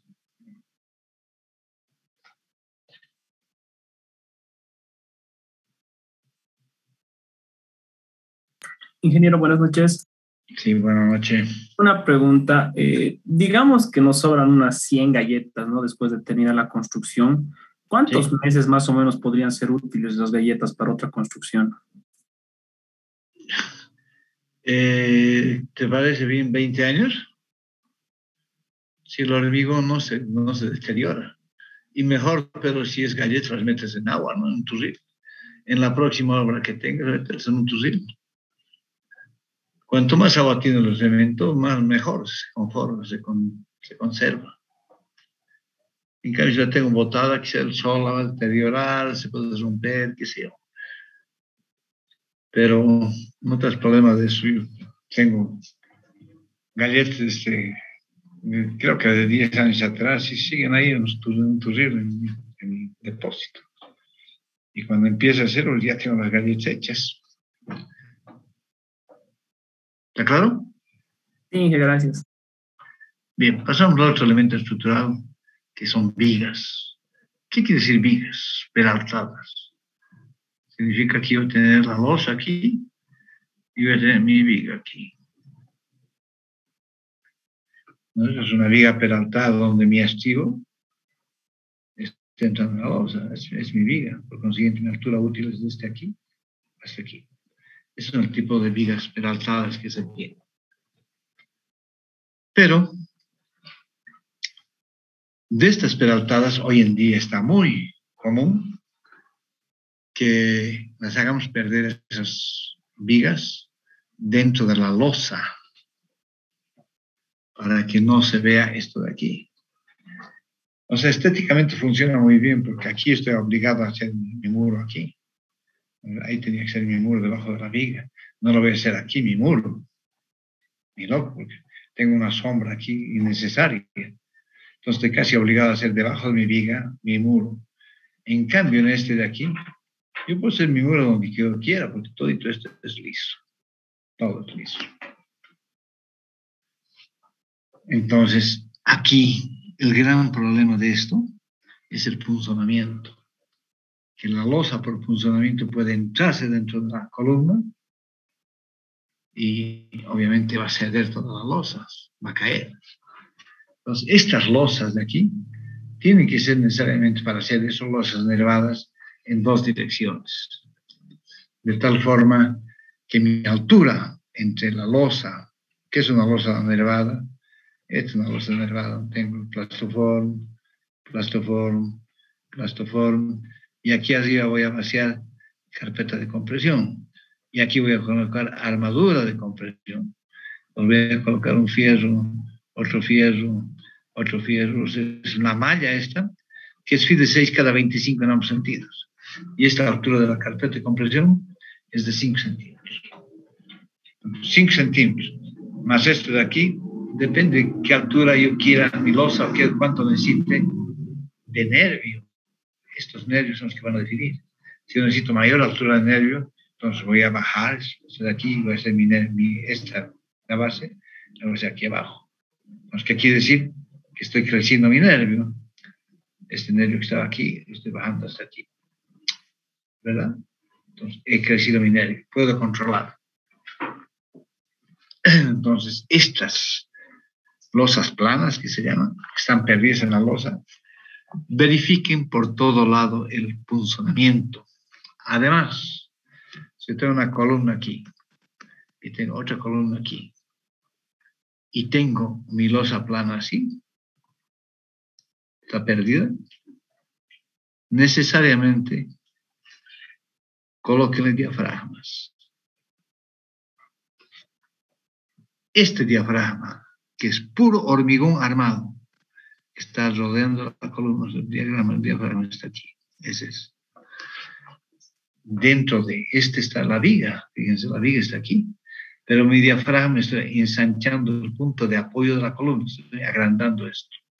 Entonces el funcionamiento ya va a venir en todo esto y no solamente en esto de aquí. Entonces, si van a hacer esto, coloquen diafragmas. Hagan sus diafragmas, calculenlos. La ventaja de este diafragma, que es puro hormigón, está alienado, es que trabaja la acción al cortante y al momento.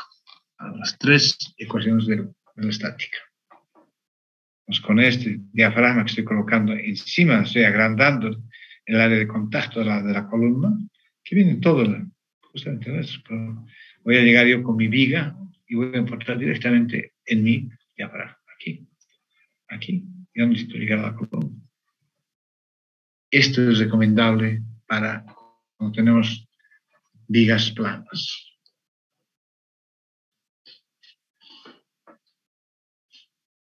Y por último tenemos las de ajuste y de equilibrio, que son ya explicado en fundaciones, estos dos. Ahora, ¿qué pasa con estas vigas planas? Vamos a ver desde el punto de vista de la inercia. Cuando yo tengo una, vamos, estoy viendo yo tengo una columna así, y una viga así, peraltada, obviamente que ha de ser más rígida que una columna así, adelgada, delgada, con una viga así. Sigue siendo mejor. O también puede ser una columna así y una viga así. O sea, mi columna le ha, adelgazado, pero mi losa también le ha adelgazado. ¿Qué pasa con este caso? voy a hacer como yo lo he hecho, yo creo que todos ustedes lo han hecho. No sé, espero que lo hayan hecho, por lo menos yo tenía esa niñez y he ido haciendo castillos de naipes. ¿Verdad? Entonces, ¿qué he hecho? He colocado este, este, este, este, y coloco los naipes encima. O sea, coloco un naipe así, coloco otro naipe así, y coloco otro naipe aquí. ¿No ven? Después le coloco otro naipe aquí, y le he puesto otro naipe aquí encima. Y después, si querido, le coloco un naipe aquí, o en el medio, si quieren. Aquí le coloco otro naipe y aquí otro naipe. Esto se asemeja a esto. No tiene inercia por ningún lado. Este castillo de naipes, yo le soplaba de aquí y se derrumbaba todito. Lo mismo pasa esto. Viene un viento de aquí y como no tiene inercia, porque la inercia está aquí en el nudo, como no tiene inercia, se va a caer todo. Eso es lo peligroso de hacer vigas, es decir, vigas planas y columnas muy esbeltas.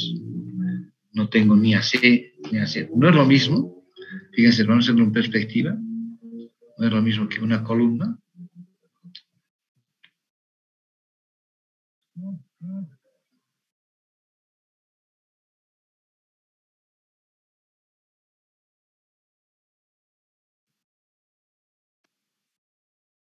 Sea así mi columna. Pues esta de aquí es este ancho de aquí. Quiere decir que en este lado tiene inercia, pero en este lado de aquí no tiene ninguna inercia. ¿Es verdad? Es lo que estoy mostrando aquí. En cambio, esta la estoy mostrando de frente. Y esa puede tener también, así es una columna normal. Entonces tiene inercia en este sentido, inercia en este sentido. Es más riesgoso jugar con esto. O sea, hay que hacer mayor cantidad de verificaciones para evitar que se colapse como un castillo de naipes. ¿Alguna pregunta?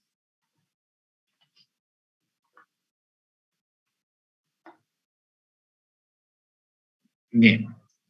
Tenemos en las losas. Tenemos la losa maciza, que es puro hormigón. Eso es lo que se construía antes. Y de ahí aparecieron las losas alivianadas, losas nervadas, las losas encasetonadas, etcétera, etcétera. Y vamos a ver cada una de estas cómo es. La losa maciza no tenemos problema, porque nosotros vaciamos un determinado tamaño y tenemos nuestra losa maciza. Así, es mi losa maciza que puede venirse a apoyar en esta viga y se apoya en esta viga. Y esta es maciza. ¿Ok? tenemos la losa alivianada aquí. No confundan. Una vez me dijo un alumno, aquí dice losa alivianada. ¿Cuántos pisos tiene tu edificio? Seis. ¿Y vas a meter losa alivianada? Querida. Estás jugando con fuego, estás provocando al edificio que se venga abajo. Porque la, esta es con viguetas. Entonces, ¿qué pasa cuando viene el viento muy fuerte? No es pues que choca aquí, no es el viento. El viento viene en sotavento y en barlovento. Pues puede venir por aquí, puede venir por aquí, a través de las ventanas. Entonces, ¿qué pasa con esta vigueta? Si esta vigueta, el viento viene por aquí, y esta vigueta se deforma así, se acabó el recreo, porque no hay ningún fierro que aguante la tracción aquí. Está aguantando la pura compresión de la vigueta. No tiene armadura, todos los elementos de viguetas prefabricadas no tienen aceros. Tienen, si quieren, lo vamos a hacer aquí. Esta es mi vigueta así. Entonces tiene un fierro, un cable que viene aquí. Tiene dos cables que vienen aquí. ¿Qué quiere decir? Que todas mis viguetas, todas las viguetas que fabrico, vienen así. Vienen así. Y tiene un cable aquí de 3.7 milímetros, tiene un cable aquí de 3.7 milímetros y tiene un cable de 3.7, 3.7. Esta es la dieta.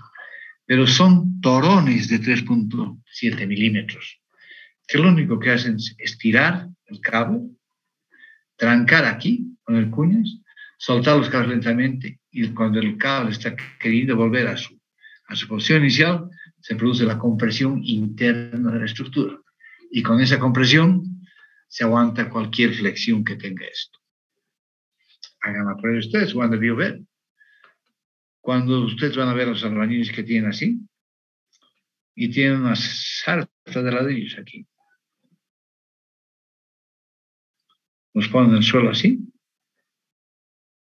los ladrillos lado a lado, ¿y qué es lo que hace? Apresionan con sus manos aquí, apresionan con sus manos aquí, y esto lo botan al de arriba, al que está camión. Y el del camión apresiona aquí, apresiona aquí, y no se caen estos ladrillos del medio. ¿Por qué? Porque son fuerzas de compresión que van produciendo con las manos. Ese es el principio del peso forzado.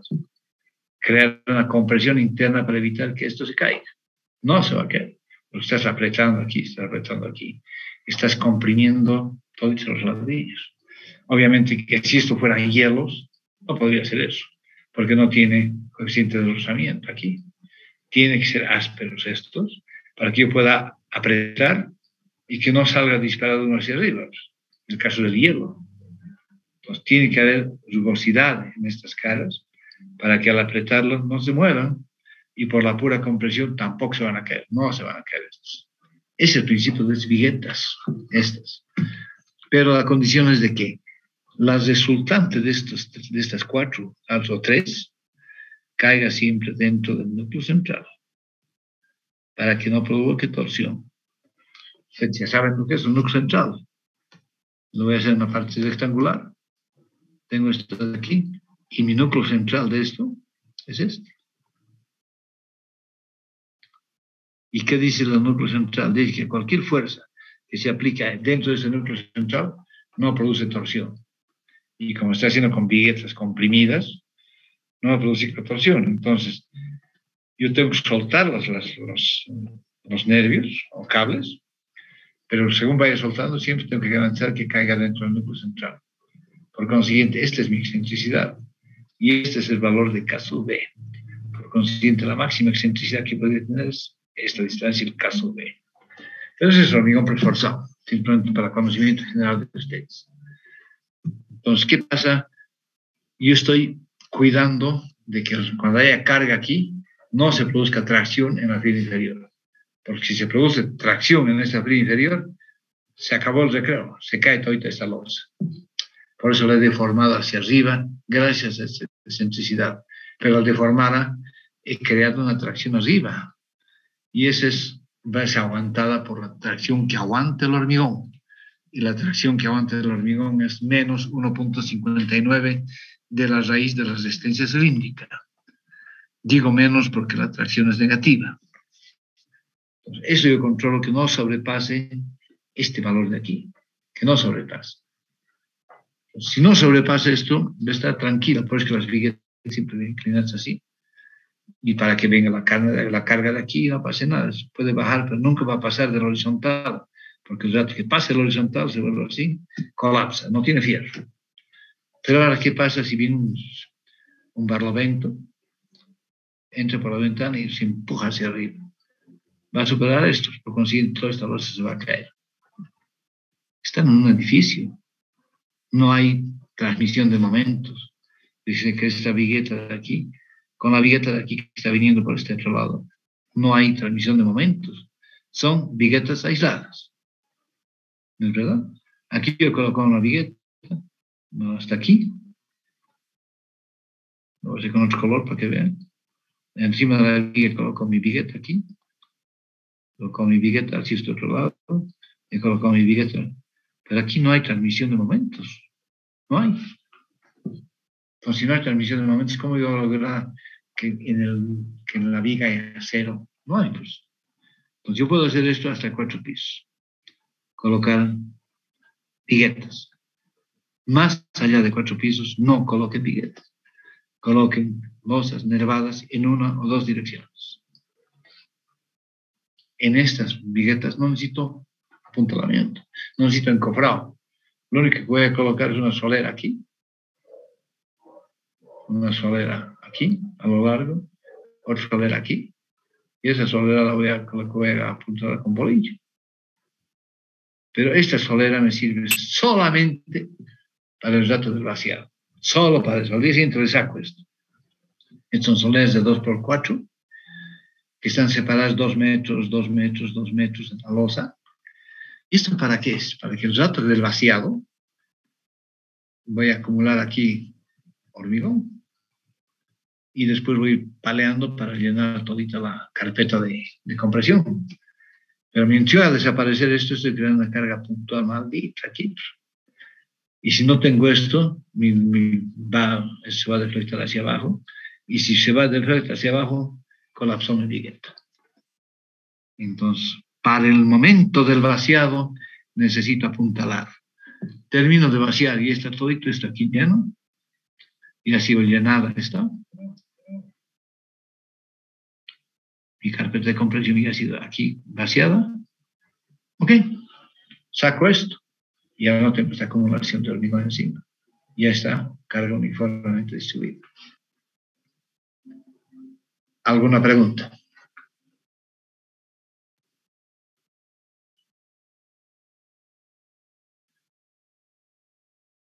Bien.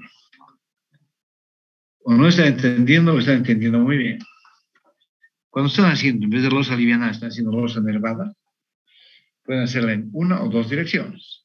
Cuando ustedes están haciendo una losa nervada, así, este es mi, dependiendo de la relación de luz corta, luz larga, entonces yo puedo colocar en una dirección o dos direcciones, pero voy a colocar aquí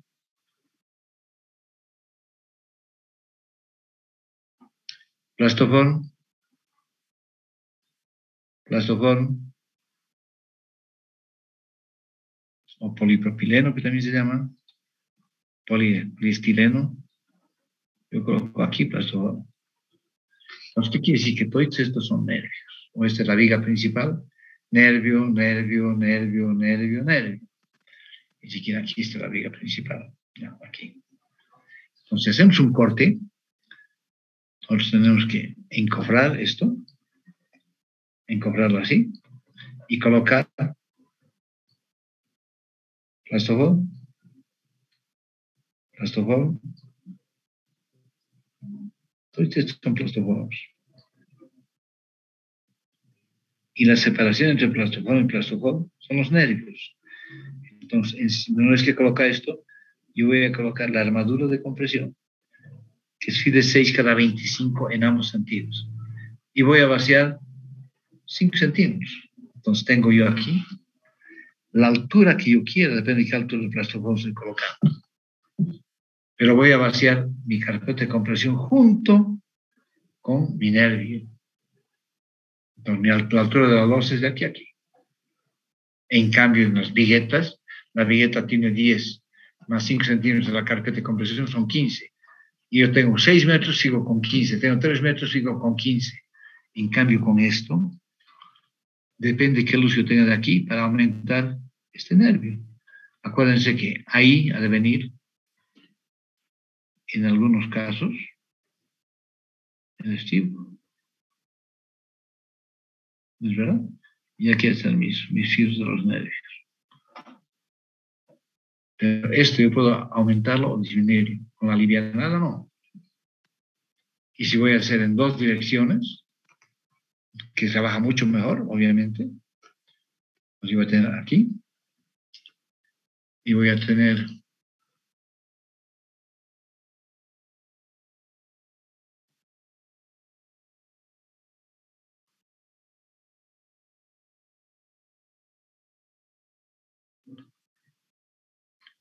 todo lo que estoy dibujando ahorita son plastoforms. Todo.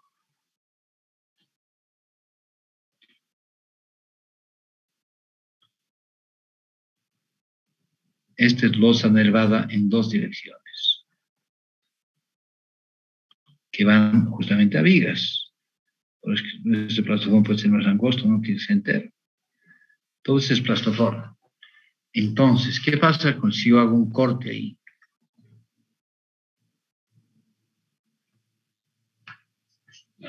Pero si hago un corte aquí, ¿qué pasa? Aquí. Voy a tener mi encofrado y voy a colocar este plastofón.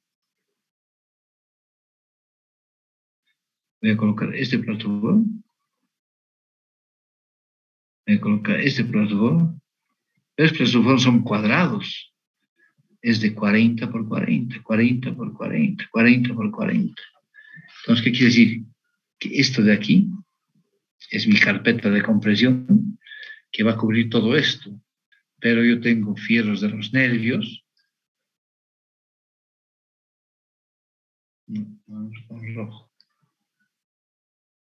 Aquí voy a tener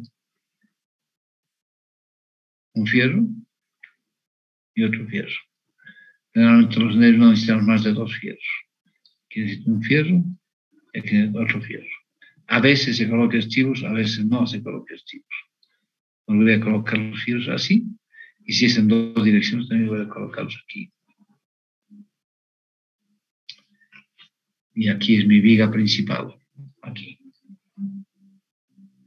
Entonces estoy dejando plastoform rodeado de nervios y lo que voy a hacer son los nervios, todos estos, junto con la carpeta de compresión, con esto.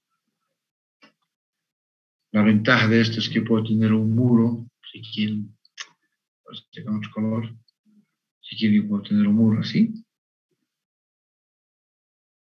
y no tengo que preocuparme de nada, porque está tocando varios nervios. En cambio, aquí en este desorden ¿Qué pasa si me, toca mi, muro aquí? Estamos encima del plastofodo. Entonces, gracias a la carpeta de compresión y la malla que es 6 cada 25, es que si hay un muro aquí se va a distribuir a este nervio y este nervio. Porque de eje de aquí a aquí se recomienda que sea 50 centímetros. Entonces el plastoform que sea de 40 y el ancho del nervio 10. ¿Alguna pregunta?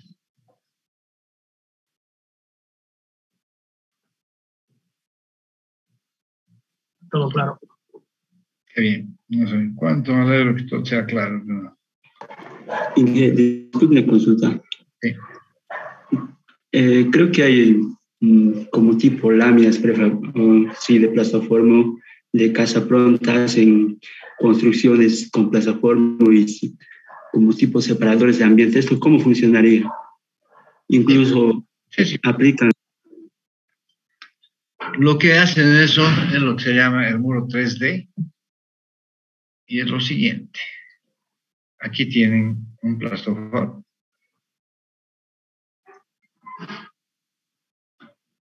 puede ser así el plastoform, que tiene 7 milímetros de espesor, 7 centímetros, 7 milímetros de espesor. Este es plastoform, así. Y además de esto, tienen una malla electrosoldada, viene así, viene así, separación cada 7 centímetros, en esto así, esto así, aquí viene la malla, esta es malla de alambre de 4.2 milímetros. Pero viene a este lado y también viene a este otro lado, lo de aquí. estos son los paneles 3D que se llaman. Entonces, cuando los corta y los pones en su sitio, lo único que hacemos es cachar aquí cemento. De esta cara y de la otra cara. Las dos caras le ponemos cemento. Entonces, el plastoform está sirviendo como aislante. Y este muro de aquí está funcionando como hormigón armado, porque estamos con el fierro, que es galvanizado, y el, la mezcla de cemento, que es 5 por 1 como si estuviéramos revocando esto, pero que estamos revocando esta cara y la otra cara, le están formando hormigón armado. Obviamente que estos muros son muy resistentes, pero yo no me animo a decir que son muros que soporten otra carga muy grande encima. Según los, los, de, que hacen este tipo de muros, ellos mismos de casa pronto me dicen hasta cuatro pisos hemos hecho con estos muros, uno encima de otro, digamos, rodeándolos aquí. Y eso querían implantarlo en, el, en la Villa Olímpica, cuando yo construí la Villa Olímpica. Ellos dijeron, puedes meter esto en los dos hoteles. Cada hotel es cinco pisos. Yo dije, no tengo ningún problema, muéstrame las memorias técnicas. Sí, que tendrán los gauchos, que tenemos las, memorias técnicas del cálculo. Saben que hasta el día de hoy sigo esperando su memoria técnica, porque no la tienen. Porque justamente mi pregunta fue, ¿cómo ustedes absorben con esta malla el acelerograma del sismo y los espectros de respuesta? ¿Cómo? El viento puede absorber, porque esta es una malla electrosoldada, a 7 centímetros, aquí, aquí hay 7 centímetros, aquí, aquí hay 7 centímetros del cual se pone el hormigón. Pero ya que hay una vibración, el plastofor no me está, solamente me está desplazando volumen, no me está ayudando para nada el momento sísmico. ¿Cómo absorbo yo el acelerograma del sismo, el espectro de respuesta con esto? No tenemos todos los cálculos. Hasta el día de hoy sigo esperando esa memoria técnica, que obviamente no la tiene. Pero si alguien quiere vender su charca, tiene que ser trabajos. Es decir, que se hacen edificios hasta de mil pisos con esto. A ver cómo hagan yo, ¿no? Yo calculo el hormigón, los enervados en dos direcciones, y ahí ven los dos hoteles sin rajadores en la Villa Olímpica. Estoy hablando de la temporada. ¿Alguna pregunta? Para, para, ¿Esto está claro para el que me preguntó? Sí, gracias. Bien. Hay un sistema más que se llama, de aquí, losa encasetonada. Esta. ¿Qué es la losa encasetonada? Vamos a aprovechar este de aquí para ver qué es una losa encasetonada. Los encasetonadas son casetones, como su nombre lo dice. Entonces, yo voy a hacer, voy a colocar aquí casetones.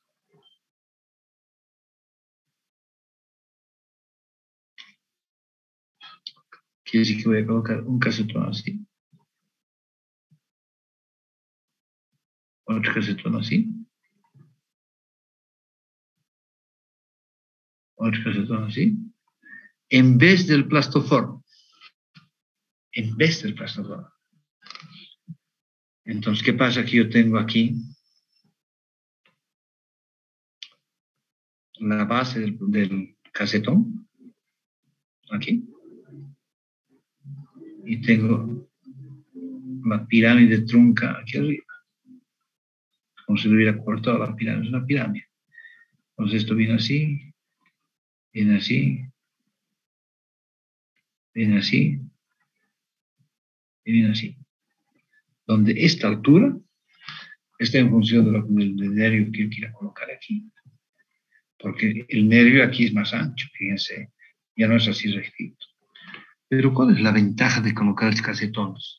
¿Los casetones tienen que ser plásticos o tienen que ser de, eh, se llama cola marina, o puede ser de machimbre, pero tienen que ser totalmente lisos, totalmente lisos, de tal manera que cuando yo saque esto, el encofrado, y saque esto, y saque esto, y saque esto, me quede la losa así. Hueca. Y obviamente no voy a dedicarme a revocar esto. O sea, de abajo lo vamos a ver así, hueca, hueca, hueca. En vez de, de que revoquemos todo, porque tenía plasmón, yo saco este casetón, lo, lo voy utilizando otro lado y me queda hueco así. Como es un material para hormigón visto, todo esto es hacer hormigón visto. Que si quiero lo único que voy a hacer va a ser pintar, nada más. Yo no voy a revocar, no voy a curar, porque ahora entiende que es hormigón visto. Alguien me dirá, ¿y para qué se hace este, este afán? Voy a explicar. Cuando ustedes tienen un cielo así, una losa así, es lo mejor que puede haber cuando existe una aglomeración de gente. Es lo mejor que hay. Porque quiere decir que el eco de la voz viene así y revoca así. El eco de la voz viene aquí y revoca aquí. El eco de la voz viene aquí y revoca aquí. Fíjense que ninguno rebota donde tiene que ser. En cambio, si es una cosa así y hago aquí la voz, rebota el eco. Aquí la voz, rebota el eco. Aquí la voz, rebota el eco. Este es un rebote de eco uniforme. Por consiguiente, si hay unas 500 personas en un ambiente cerrado, nadie se va a escuchar con nadie. Van a tener que hablar a gritos para poder entenderse. En cambio, si la, la losa está hecha así, Pueden haber dos mil personas ahí y ustedes van a poder hablar como si estuvieran en el templo. No van a escuchar las charlas ajenas. Para eso se hace este tipo. Y si quieren una prueba de esto, vayan al Palacio de Justicia, aquí en la San Martín y Jordán. Todas las los están hechas así. Pero cada día debe haber por lo menos dos mil personas ahí adentro. Y uno puede charlar tranquilamente, no necesita gritar porque el eco rebota donde, con el mismo ángulo. Ángulo de incidencia es ángulo de refracción. Ángulo de incidencia es ángulo de refracción. Se depende con qué ángulo está viniendo, va a estar igual. En cambio, en este, todos han de ser así, todos. Si alguien ha entrado a un set de grabación, de música, o de cualquier cosa, pero de grabación, van a ver que en las paredes han clavado guafleras. Para los que no saben qué es guaflera, a pesar de que todos deben saber, es una cosa así. Este es de papel mascado. Estas son las guafleras. El maple de huevo, ¿verdad? Exactamente. Entonces tú vas a cómo te venden los huevos Aquí está un huevo. Aquí está otro huevo.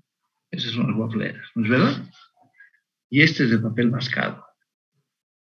Y estas guafleras colocan en las paredes y en el techo de los sets de grabación. Justamente porque esto no absorbe el eco, no rebota el eco, lo absorbe todos los ruidos. Por consiguiente, la grabación es nítida a morir. Esa es la diferencia entre la encasetonada y la nerva. Estos son plastoforms, estos son casetones. ¿Alguna pregunta más? los plastoformos se quedan ahí o hay que retirarlos o no, hay problema sobre eso. Los plastoformos los, se quedan ahí. Aquí en este caso, los plastoformos, estos plastoformos se quedan, se quedan ahí. Es más, estos plastoformos los vas a pellizcar aquí para crear adherencia y no necesitas picar nada, solamente vas a picarlo con, tu dedo, lo vas a pellizcar, le vas a sacar unos pedacitos para que el rato que tú coloques el yeso, el yeso se prenda ahí, se chipe de ahí. Cuando tú colocas el yeso así, en este mosquito se va a ir agarrando el yeso y no se va a desprender. Entonces aquí estás haciendo un cielo raso bajo losa. En cambio aquí estás haciendo un tonado, que no necesitas revocarlo porque es hormigón visto. ¿Alguna pregunta más? Bien. En cuanto a las escaleras, depende cómo han sido concebidas, porque existen diferentes tipos de escalera. Puede ser una escalera así, así, donde yo tengo la viga aquí y tengo la viga aquí, o la misma escalera, la tengo así y así, y tengo la viga aquí y la viga aquí, en este caso está actuando como voladizo, depende del principio de cálculo. Ustedes saben que para calcular una escalera se la calcula en proyección horizontal y se la diseña como losa horizontal, inclinada. Entonces, cuando ustedes quieren saber la altura que tiene que tener la losa, suman esto más esto y dividen entre 24 y es la altura mínima que tiene que tener esa losa. Y eso está considerando con eso los peldaños que van a venir aquí. 17, 30, 17, 30, 17, 30, 17, losa. Y aquí viene el fierro, aquí viene un fierro, y aquí viene otro fierro. ¿Está claro? Los tanques de agua ya les he explicado que tienen que tener horquilla justamente, que tiene que ser los unas las esquinas que venga así, para que se, considere el empotramiento perfecto en los tanques de agua, tanto en las paredes como en las, en, en la base, sobre todo en la unión de paredes con la base. Esto es importantísimo para que no fugue agua por aquí, que es el lugar más crítico. Además que vamos a hacer aquí media caña, acuérdense, para evitar que pase la fuga. Y los humos de corte, Pueden ser muros de ascensores o muros de contención. ¿Qué significa esto? Cuando yo tengo un terreno así,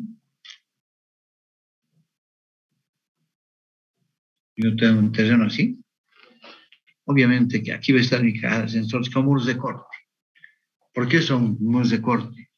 Porque calculan la armadura horizontal del cortante y la armadura vertical de distribución ¿Qué me permite esto? Mantener el espesor de los muros sin aumentarlos. Yo tengo de 20 pisos y este tiene 30, 30 centímetros en sótano. En el último piso también tiene 30 centímetros. La ventaja de esto es que el 70% de los efectos de sismo y viento los observo este marco rígido, este. Es como si tuviera una una columna así, vacía, ¿no? Y le coloco esto.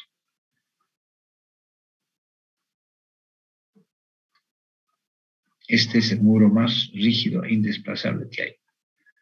¿Por qué? Porque el triángulo es la figura indesplazable. A ver, deforme en este triángulo, no puede. Deforme en este triángulo, no puede. Si yo tengo un rectángulo así, un cuadrado así, yo la puedo deformar, ¿no? Puedo volver así. Así, es cuadrado. Pero si le pongo una cosa aquí, ya no se deforma. El rato que meto el triángulo, esto ya no se deforma, ya no puede ser esto.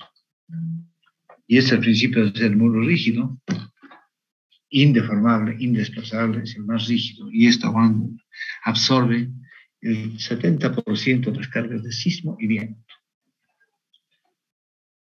me queda un 30%. Por consiguiente, todas las columnas exteriores, todas estas de aquí, me van a aguantar el doble de las columnas interiores. Todo lo que estoy dibujando ahorita, para efecto de sismo y viento, me aguantan el doble que este aquí. Las interiores solamente aguantan una vez, no el doble. Así es como se distribuyen las cargas en los edificios. Obviamente que los paquetes estructurales hacen esto. Estos no saben esto porque nunca han hecho hiperestáticas 3. No han llevado envolvente de momentos máximos en estructuras hiperestáticas. No les han enseñado el feeling de las estructuras para saber por qué un momento es negativo en vez de ser positivo. Y además la magnitud. ¿De dónde sabría que el fierro, por ejemplo, me, pide fierro de 32 milímetros? No les creamos que esta central me pida eso, todavía lo puedo creer. Pero una de borde con 32 milímetros, no le creo nunca. Pero de repente, ahí está en el cálculo estructural. Eso me llama a mí la atención, inmediatamente reviso, meto el ratio aquí y verifico justamente cuál es la esa columna y por qué me salió ese fierro ahí. Con el ratio puedo corregir, ya sea la armadura de fierro o la sección de hormigón. Ese es mi ratio nunca, casco es mayor a uno. ¿Está claro? Y es más, cuando tenemos un edificio así, por ejemplo, un edificio así, que no es simétrico por ningún lado. Entonces el efecto del sismo trata que esto gire. Lo que por aquí he visto una de esas, una de esas actitudes, a ver.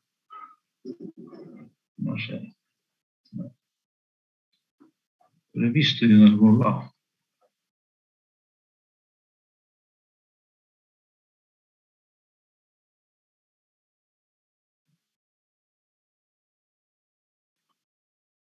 Bueno, no sé dónde. Ya. Pero esto va a tratar de girar, de torcerse, de girar. Entonces, va a tratar de girar así, por efectos del sismo. Entonces, para evitar estas estructuras eh, no simétricas, justamente lo que se hace es colocar aquí muros de corte. Aquí en las esquinas, muros de corte. Y con estos muros de corte, yo garantizo que no se va a girar la estructura. no solamente tengo esto, que es la caja de sensores, sino también tengo estos muros de corte que me van a ayudar hartísimo para efectos de sismo, para que no nos rote. Y además hay otra situación más, que yo tengo una columna aquí y tengo otra columna aquí. Como están tan cerca, yo le meto una sola fundación para las dos. Pero en muchos casos, yo prefiero colocarle un muro de corte aquí, o sea, una columna plana, que va a hacer el mismo papel que esto. ¿Alguna pregunta? Puede apoyarse entre columna y el muro de corte, una viga, por ejemplo.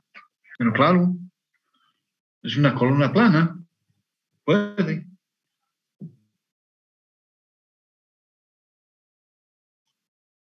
Bien, estamos en hora que nos hemos pasado. Esto es lo que es la metodología constructiva, lo vamos a ver en la próxima clase. Para acabar lo que es el hormigón ya que el día jueves tenemos el examen. Para esto me han pedido los del otro grupo si por favor podemos el día jueves adelantar una hora. Dice que se cruza con carreteras. Me han pedido que el examen sea el día jueves a las 17 horas 00, o sea, a las 5 de la tarde. ¿Algún problema con esto?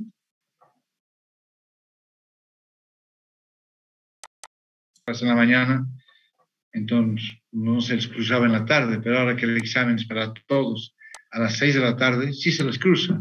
Y por eso me han pedido si podemos adelantar una hora el examen de los jueves. En vez de tomar las 18.00, tomar las 17.00. Eso lo estoy preguntando. ¿Puede ser? No puede ser. Disculpe, ingeniero. Sí. podría ser 1700.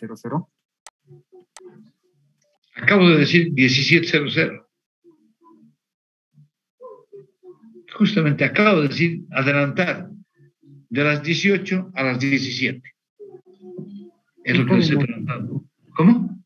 Estaría bien esa hora, porque creo que... Alguien no puede, alguien no puede, porque os voy a preguntar uno por uno y cada uno va a tardar media hora en responderme hasta que lo piense. Podemos estar hasta un año aquí. Más fácil es, alguien no puede dar el examen el jueves a las 5 de la tarde. Bien, como no responde, el jueves es a las 5 de la tarde el examen. Por favor, sean un poquito colaboradores, oye, no, no, quieren, no quieren hablar o les, les pagan por palabras que se pronuncian. Está bien, no, nada. Por favor, dígame sí, no, no me da la gana, sí quiero, mejor no, pero dígame algo. No digan nada. Nos tomó, nos tomó de sorpresa, no habíamos coordinado la fecha de examen. Sí, la fecha la han tenido desde el primer día de clases. El examen siempre ha sido coordinado desde el primer día de clases, el jueves 28 de octubre a las 18.00. Si tú no has sido clases, no es mi culpa. Pero eso ha sido el primer día de clases que yo fijo todos los exámenes. Entonces no me digan que no hemos coordinado. No estoy pidiendo, no estoy pidiendo cambio de fecha. Estoy pidiendo por el grupo de la mañana está pidiendo si pueden adelantar una hora. Esto es lo que tienen que responder.